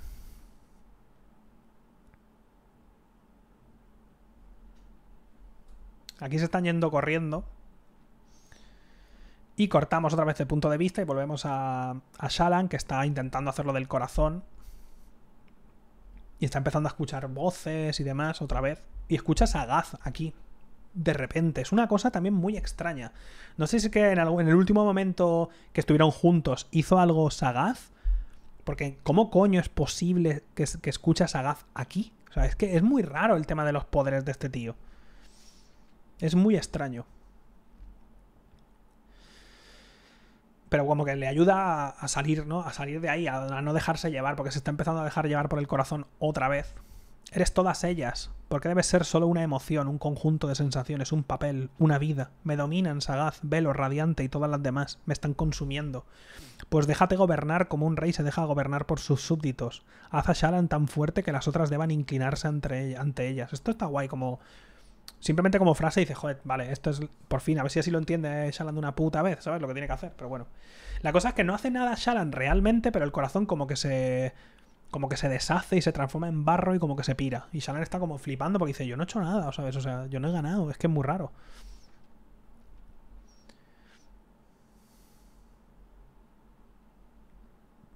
Es muy extraño, porque Shalan se da cuenta que ella no ha hecho nada, pero bueno, va a ir al mecanismo a activarlo fue hacia la cerradura del dispositivo de control, invocó a Patrón como hoja esquirlada, lo contempló y luego miró, luego se miró a sí misma en un espejo de la pared. Había otra persona en el espejo, una mujer de pelo negro que le caía hasta la cintura, llevaba ropa arcaica, un amplio vestido que casi era una túnica, sujeto con un sencillo cinturón. Shalan se tocó la cara y, ella piensa como ¿Sabes ¿Qué, qué, ilusión es esta? O sea, ¿en qué momento se me dio tanto la puta olla que me transforma en alguien que no sé ni quién es? Pero aquí cuando te das cuenta que no es que se haya transformado en nadie. Este es uno de los eh, uno de los desechos. Radiante, dijo el ser, vocalizando las palabras. Me llamo Sjanat, Sjanat, y no soy tu enemiga. Y vuelve a cortar, volvemos a Kaladin. Toda esta secuencia de Kaladin ya es la muerte de, ya es la muerte de Elokar. Eh, aquí vemos una pelea bastante asquerosa porque se juntan, ellos están, están corriendo, de repente entran, entran los portadores del vacío, están algunos de los, de los antiguos, de los que había conocido Kaladin cuando empieza el libro y se junta con ellos, de los que se han escapado. Ves a gente del... Ves a los de la guardia de la, de la muralla también matándose unos a otros y está Kaladin en medio hasta el punto de como que suelta incluso el arma, ¿sabes? Porque de repente ve al de este ve al Sa este, a que era uno de los uno de los de los Parashendi, bueno, uno de los Parmenios. Y Kaladin se queda bloqueadísimo, como que no quiere y de hecho empieza a decir empieza a decir eh, un rollo parat y no sé qué. Bueno, aquí corta también otra vez, volvemos a Shalan, pero es muy cortito esto. ¿Qué eres? ¿No? Porque le pregunta la forma esta. Me llamo la tomadora, me llaman la tomadora de secretos. O me llamaban así una vez. Eres de los desechos, nuestros enemigos. Fuimos hechos y luego desechos, aceptó ella. Pero no, no soy tu enemiga. Le perteneces a él, a Odium. No, me pertenezco a mí. Ahora solo a mí. No lo hagas, le dice, no actives la puerta jurada. No lo hagas, suplicó Janat. Escúchame, radiante. Oye mi ruego. Sherman ha oído a propósito el corazón del festejo. Es una trampa. A mí me obligaron a tocar al spren de este dispositivo, por lo que no funcionará tal y como deseas. Ojo, ¿eh? Me obligaron a tocarle, no funcionará tal y como deseas. Esta, ya sabemos que su poder era el de manipular a los Sprens, o sea que bueno, volvemos a Kaladin y aquí es donde está que, grita, parad, por favor, parad, no sé qué, se están matando entre ellos. Aquí muere un montón de peña, muere gente de la Guardia de la Tal, muere mueren los, los que conoció Kaladin, se están muriendo entre ellos. Que se queda quieto Kaladin, que no sabe qué hacer, y entonces como que vuelve a empezar a pensar poco a poco. El rey pensó entumecido, ve con Elokar. Ay, Elokar estaba arrodillado, con un brazo acunaba a su hijo aterrorizado y en la otra mano sostenía un trozo de papel, un boceto, es el dibujo de Shalan que hemos visto antes. Kaladin casi alcanzó a oír a Elokar, balbuceando las palabras. vida antes que muerte. Y tú, Dios, dilo, coño. Aquí me acuerdo cuando lo leí la primera vez que incluso... Me acuerdo que dije, Dios, dilo, dilo, dilo, dilo, dilo.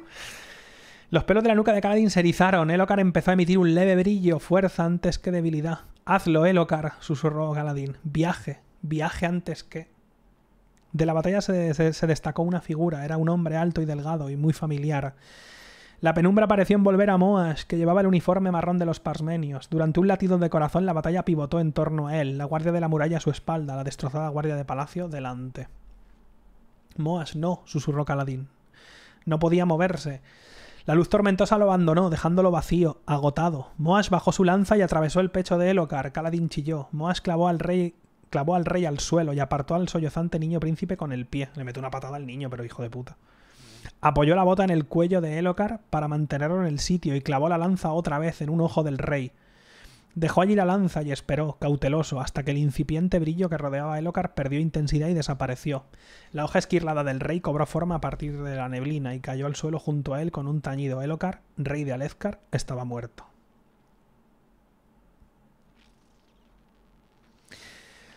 Y lo peor de todo esto. Moas liberó su lanza y desvió la mirada hacia la hoja esquirlada, entonces la apartó de un puntapié. Miró a Caladín y sin mediar palabra hizo el saludo del puente 4, juntando las muñecas.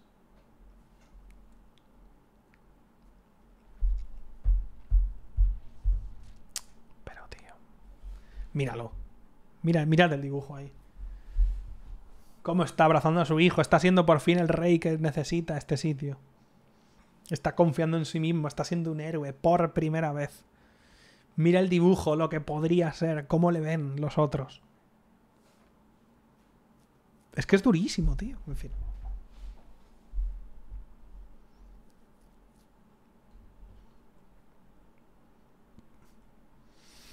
Como Brandon me haga un puto arco en el cuarto, el quinto libro, en el que me intente convencer de que Moash no es malo, de que de repente lo ha entendido y ahora es bueno, yo me cago en el puto libro. Abro el libro y me cago en el libro y cierro las páginas, ¿eh?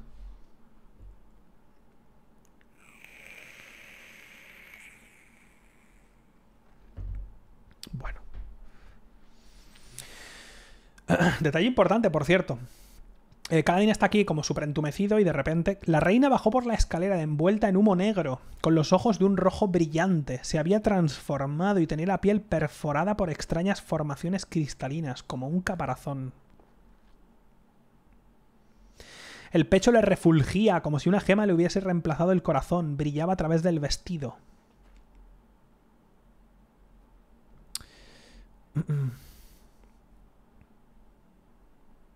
intenta acercarse al, cadáver de Locar, pero no puede, entran los otros. Básicamente viene a Dorin y le dice... Le agarra y dice, es hora, es hora de irse. Es hora de irse.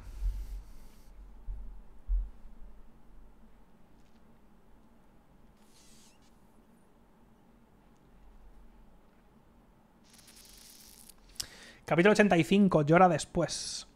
Aquí es cuando están corriendo, están intentando escapar y está todo el rato diciendo. Kaladin está pensando. ¿Vale? Es como un principio de la guerra, tío. O sea, tienes que.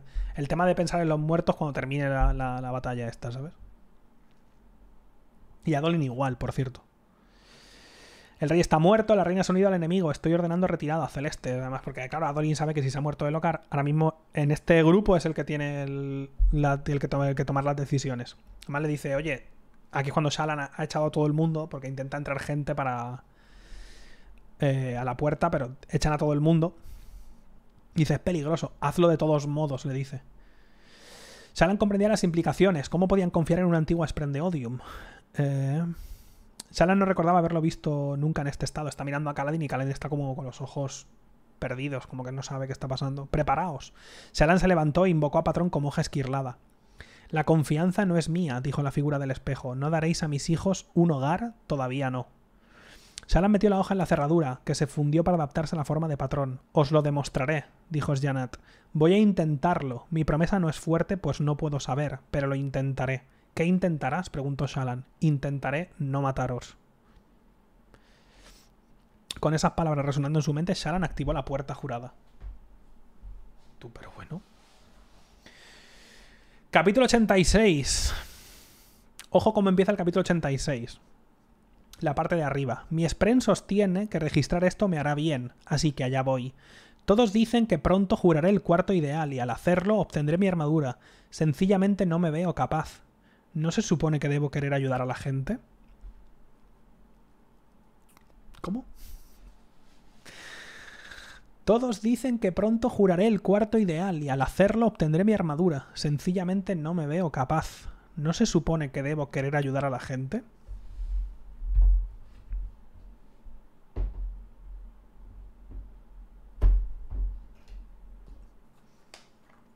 Lo que nos faltaba para Caladín. Ay.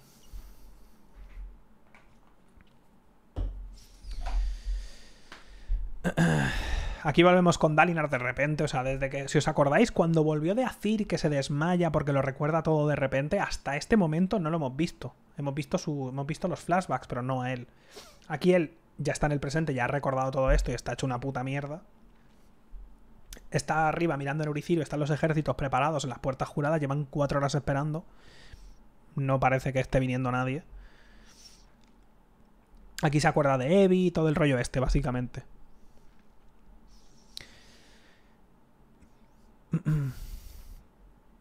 Los gritos de Evi, las lágrimas de los niños asesinados eh, refutaban esas habladurías. Oh Todopoderoso en lo alto, ¿cómo podía vivir con ese dolor, tan fresco, recién restaurado? Pero ¿para qué rezar? No había ningún Todopoderoso pendiente de él, de haberlo y de estar dotado del más mínimo de justicia. Hacía mucho tiempo que Honor habría purgado del el mundo del fraude que era Dalinar Colin. Y tuve los redaños de condenar a Maran por matar a una escuadra de hombres para hacerse por una hoja esquirlada. Dalinar había incendiado una ciudad entera por menos, miles y miles de personas. Bueno, por menos... A ver, que te intentan matar, pero bueno.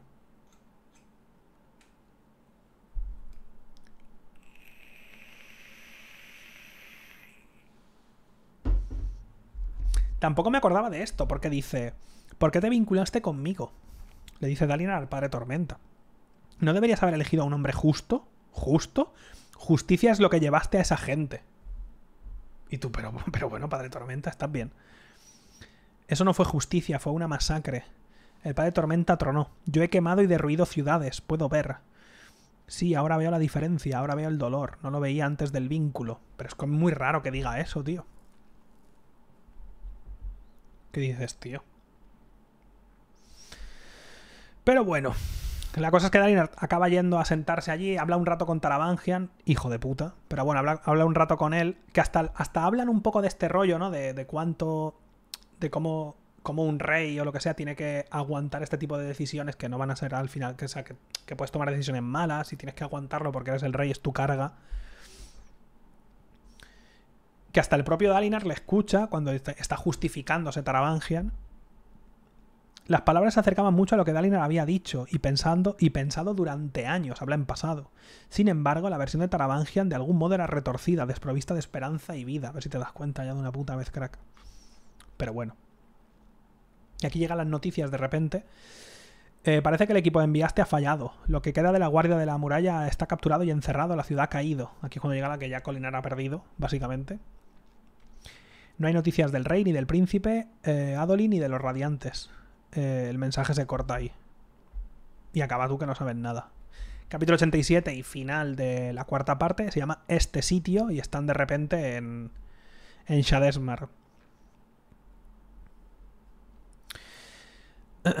Se pegan un hostiazo que flipas, salen un poco. Adolin se cae al, mar de, de, las esferitas, lo sacan de ahí y tal. Miran hacia arriba. En el aire levitaban dos spren gigantescos. Parecían versiones estiradas de personas y tendrían unos 10 metros de altura. Daban la impresión de ser, de ser centinelas. Uno era negro, como el carbón, y otro rojo. Al principio le habían parecido estatuas, pero su ropa ondeaba al viento y se movieron, uno de ellos bajando la mirada hacia él. Oh, esto es malo, dijo alguien cerca, muy malo. Adolin miró y descubrió que había hablado una criatura vestida de escrupuloso negro, con una túnica que de algún modo parecía hecha de piedra. Está hablando con patrón, de repente. Ojo, que uno es negro y otro es rojo. Recordad esto, por favor. Hablaremos de ello dentro de un tiempo. Adolin se levantó de un salto y retrocedió a trompicones después de ver a patrón, ¿vale? Estuvo a punto de chocar con una joven de piel azul claro, pálida como la nieve, con un vestido vaporoso que aleteaba el viento. La Best Girl, Sil. A su lado había otra Spren, con cenicientos rasgos marrones que parecían hechos de cordeles tensos, del grosor de un pelo. Llevaba la ropa raída y sus ojos estaban raspados, como un lienzo al que alguien hubiera aplicado un cuchillo. ¿Quién va a ser? Adolin mira alrededor y ve que están básicamente. Está Adolin, Shalan, Kaladin y Celeste. Y acaba la cuarta parte con lo siguiente. Celeste mira al cielo y dice, condenación, dijo en voz baja, odio este sitio. Si lo odias que lo conoce, ¿no? Estoy que me muero, ¿eh? Estoy reventado perdido, tío.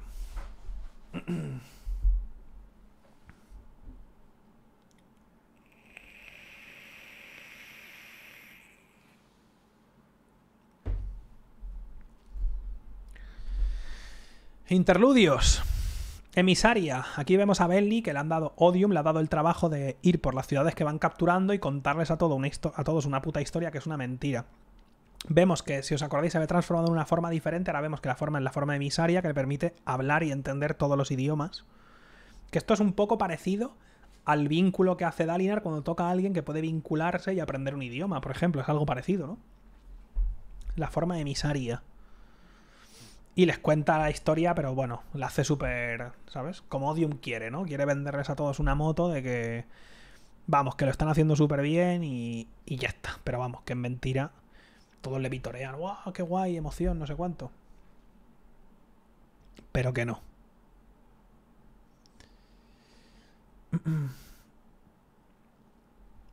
Acaba su discurso, dice, había averiguado que existían tres niveles en la jerarquía de la gente de Odium. Estaban aquellos cantores comunes, que llevaban las formas ordinarias, que había empleado el pueblo de Benley. Por encima de ellos estaban los llamados regios, como ella, distinguidos por las formas de poder, creadas al vincular las distintas variedades de vacío Spren. La cima la ocupaban los fusionados, aunque Belly no sabía muy, bien dónde situar a los Sprens como Ulim. Ulim es el que les da la información, es Spren como amarillo y demás. Entonces, pero bueno, aquí queda claro los tres niveles, que esto es importante que lo tengamos claro para saber quién cojones es quién, porque es un poco lío al principio.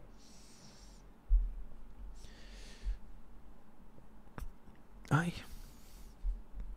Vemos también que vienen a verla de repente algunos de estos parmenios que están empezando a creerla, pero que no la creen muy bien. Y, y se fija y los ve que van vestidos como si fueran Aleci, por ejemplo, que llevan, llevan la mano tapada. Y, Belly está flipando porque dice, joder, ¿cuántos quedas, ¿sabes? De hecho, piensa en su hermana, dice, joder, Shonai. Si vieras esto, ¿no? ¿Cuánto les queda a esta gente?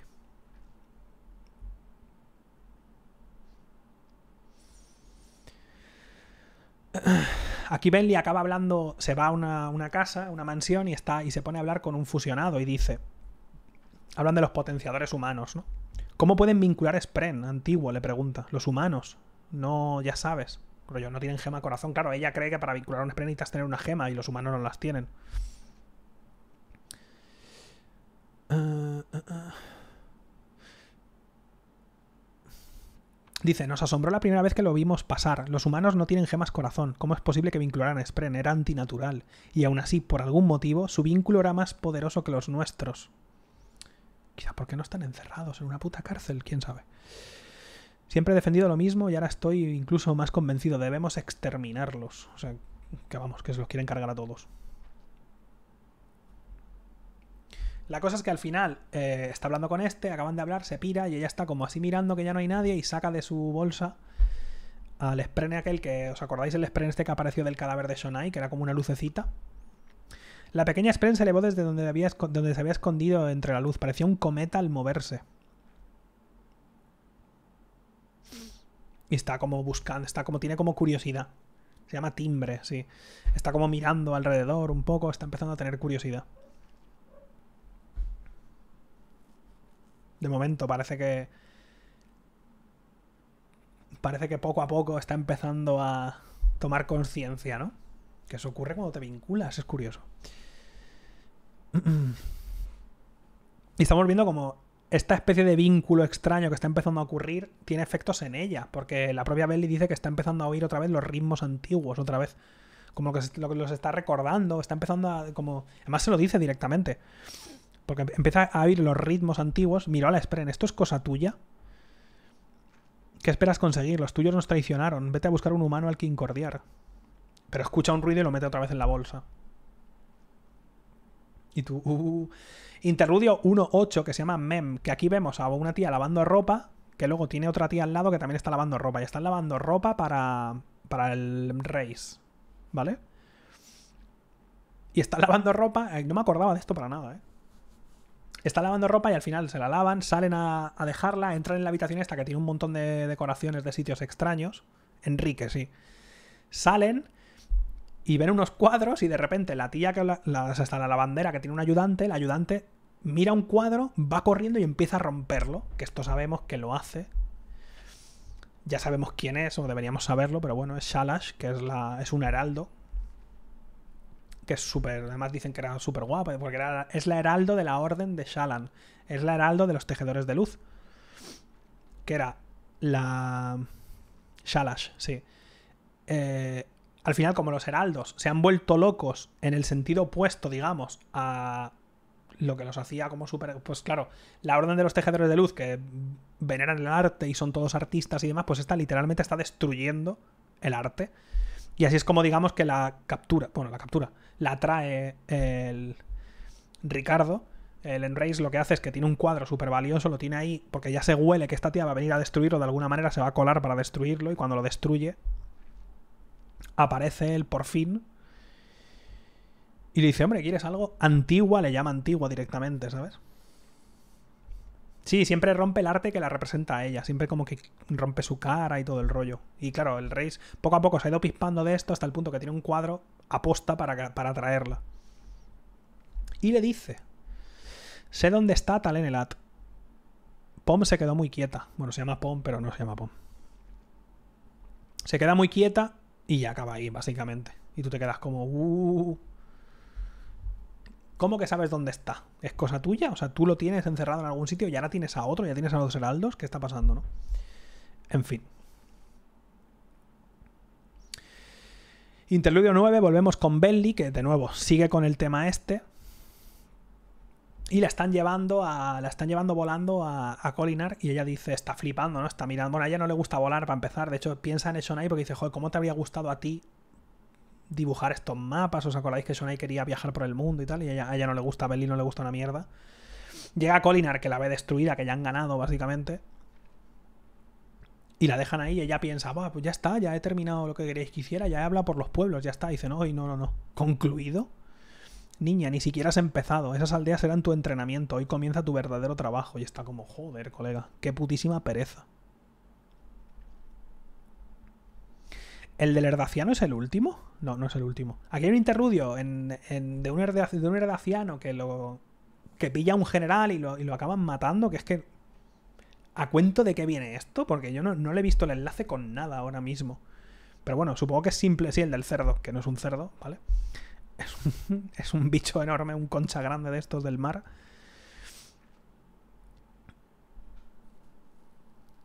Pomes Shalash, sí. Sí, sí, es muy raro, ¿no? No sé. Ahora mismo no le veo el enlace con nada o no me acuerdo. también es que estoy reventado que flipas. Sí, el, el, único detalle que puede ser es ese, porque es verdad que hay un momento que dejan un detalle importante y es que se quita las esposas. Hay uno que se quita las esposas y dicen, joder, qué bien, como que eres capaz de quitarte todas las esposas. Y dice, buah, sí, son súper fáciles. O sea, el detalle es ese, que es un danzante del filo ese que es capaz de quitarse las esposas porque es un danzante. Es primo del Open. Bueno, es que cualquier. ¿quién, ¿Quién no es primo del Open? Yo soy primo del Open también. ¿Cómo has sabido que Pomer es un heraldo? ¿Cómo lo sabes? Hombre, primero no lo sabes, pero en cuanto empieza a destruir su obra de arte y Embrace le llama eh, antigua y le dice, sé dónde está Talenelat, puedes enlazar sabes que alguien está rompiendo obras de arte, sabes que los heraldos están locos, puedes enlazarlo porque rompe, rompe su cara siempre. Si recuerdas el primer libro, estaban todas las estatuas y a una le faltaba la cara y era ella, era Shalash, es la que faltaba. Hemos ido viendo un montón de estatuas de Salas y cuadros de Salas que están con la cara quitada, por ejemplo, entonces. Y le llama antigua, ¿sabes? Yo qué sé. Todos somos. Sí, todos somos primos del Open, tío. Bueno, al final resulta que el cerdo no es un cerdo y ya está. Y ya estaría. El último interludio, ahora sí, aquí ya sabemos que el sprint se llama timbre. Y empezamos, empezamos a ver un poco más de esta curiosidad que está mirando, que no sé qué. Están encerrados además, la tienen encerrada, ¿eh? O sea que parece que Odium tampoco se fía de ella. En parte, pues, igual ya Odium se está oliendo que algo no está bien. De hecho, viene la tormenta eterna. Y aquí es cuando ella como que tiene como una visión también, como las que tenía Dalinar, pero en contacto directo con Odium. Y da miedo, ¿eh? La tormenta llegó y una ráfaga de viento entró por la ventana, elevándola y llevándola a una especie de visión. El edificio se esfumó y la tormenta zarandeó a Bentley, aunque sabía que cuando pasara no estaría herida. Y te lo define que flipas, ¿eh? No estás contando la historia lo bastante bien, declaró la voz de Odium en el idioma antiguo. Te impacientas, los fusionados me informan de ello. Eso debe cambiar o serás destruida. Y tú, joder, colega. Sí, mi señor, es que me tiene miedo, que flipas, ¿eh? Eres mía, recuérdalo. Además, como que está contando esto y se le está, se le está fundiendo la cara, la piel, rollo, se está muriendo. O sea, es que tiene que ser un dolor que flipas. Pues tú imagínate este tipo de tortura durante 4.500 años. ¿Cómo no va a estar loco el otro? ¿Cómo no va a estar como una puta regadera el Talenelat? ¿Cómo no va a estar? Tú imagínate. ¿Cómo no van a romper sus juramentos los heraldos? ¿Sabes? Si te hace sentir como que te, que te mueres, que se te quema la piel, que te desgarran los músculos, es que es horrible, tío. O tú imagínate.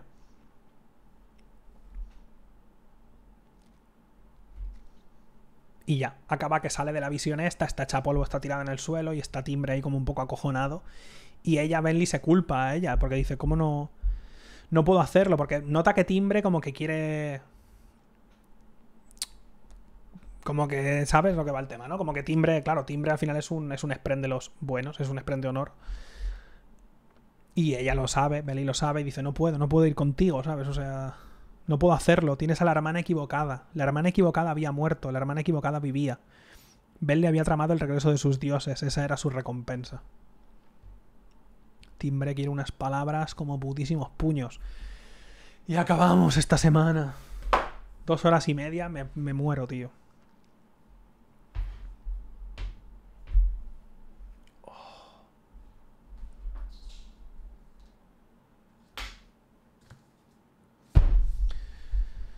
Ay. Estamos en el capítulo 88, que además es un flashback, por cierto. Página 961. Empieza la cumbia, preparaos. Todo esto que ha pasado es un preámbulo para lo que va a pasar a partir de ahora, ¿eh? Os aviso. Toda la cuarta... Mira, me dejo un tiro en la polla, ¿eh? Relajaditos esta semana, ¿eh? Os relajáis, que al final haremos lo que hacemos, lo que hemos hecho en los otros libros, que al final dejaremos dos semanas y haremos todo el final de golpe, porque va a pasar mucha cosa. De la página 961 o capítulo 88. Vale, nos vamos a ir hasta 961.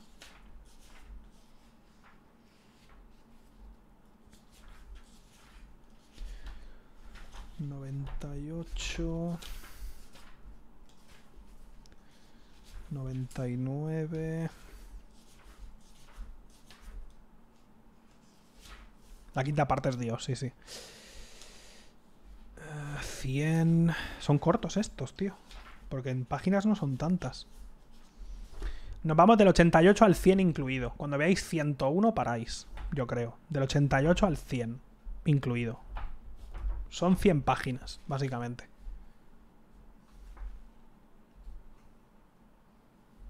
Del 88 al 100. Probablemente la siguiente semana hagamos desde aquí hasta el final de la cuarta hasta el final de la cuarta parte y luego hagamos dos semanas y quinta parte de golpe. Probablemente, porque la quinta parte es que no voy a poder parar ni yo tampoco.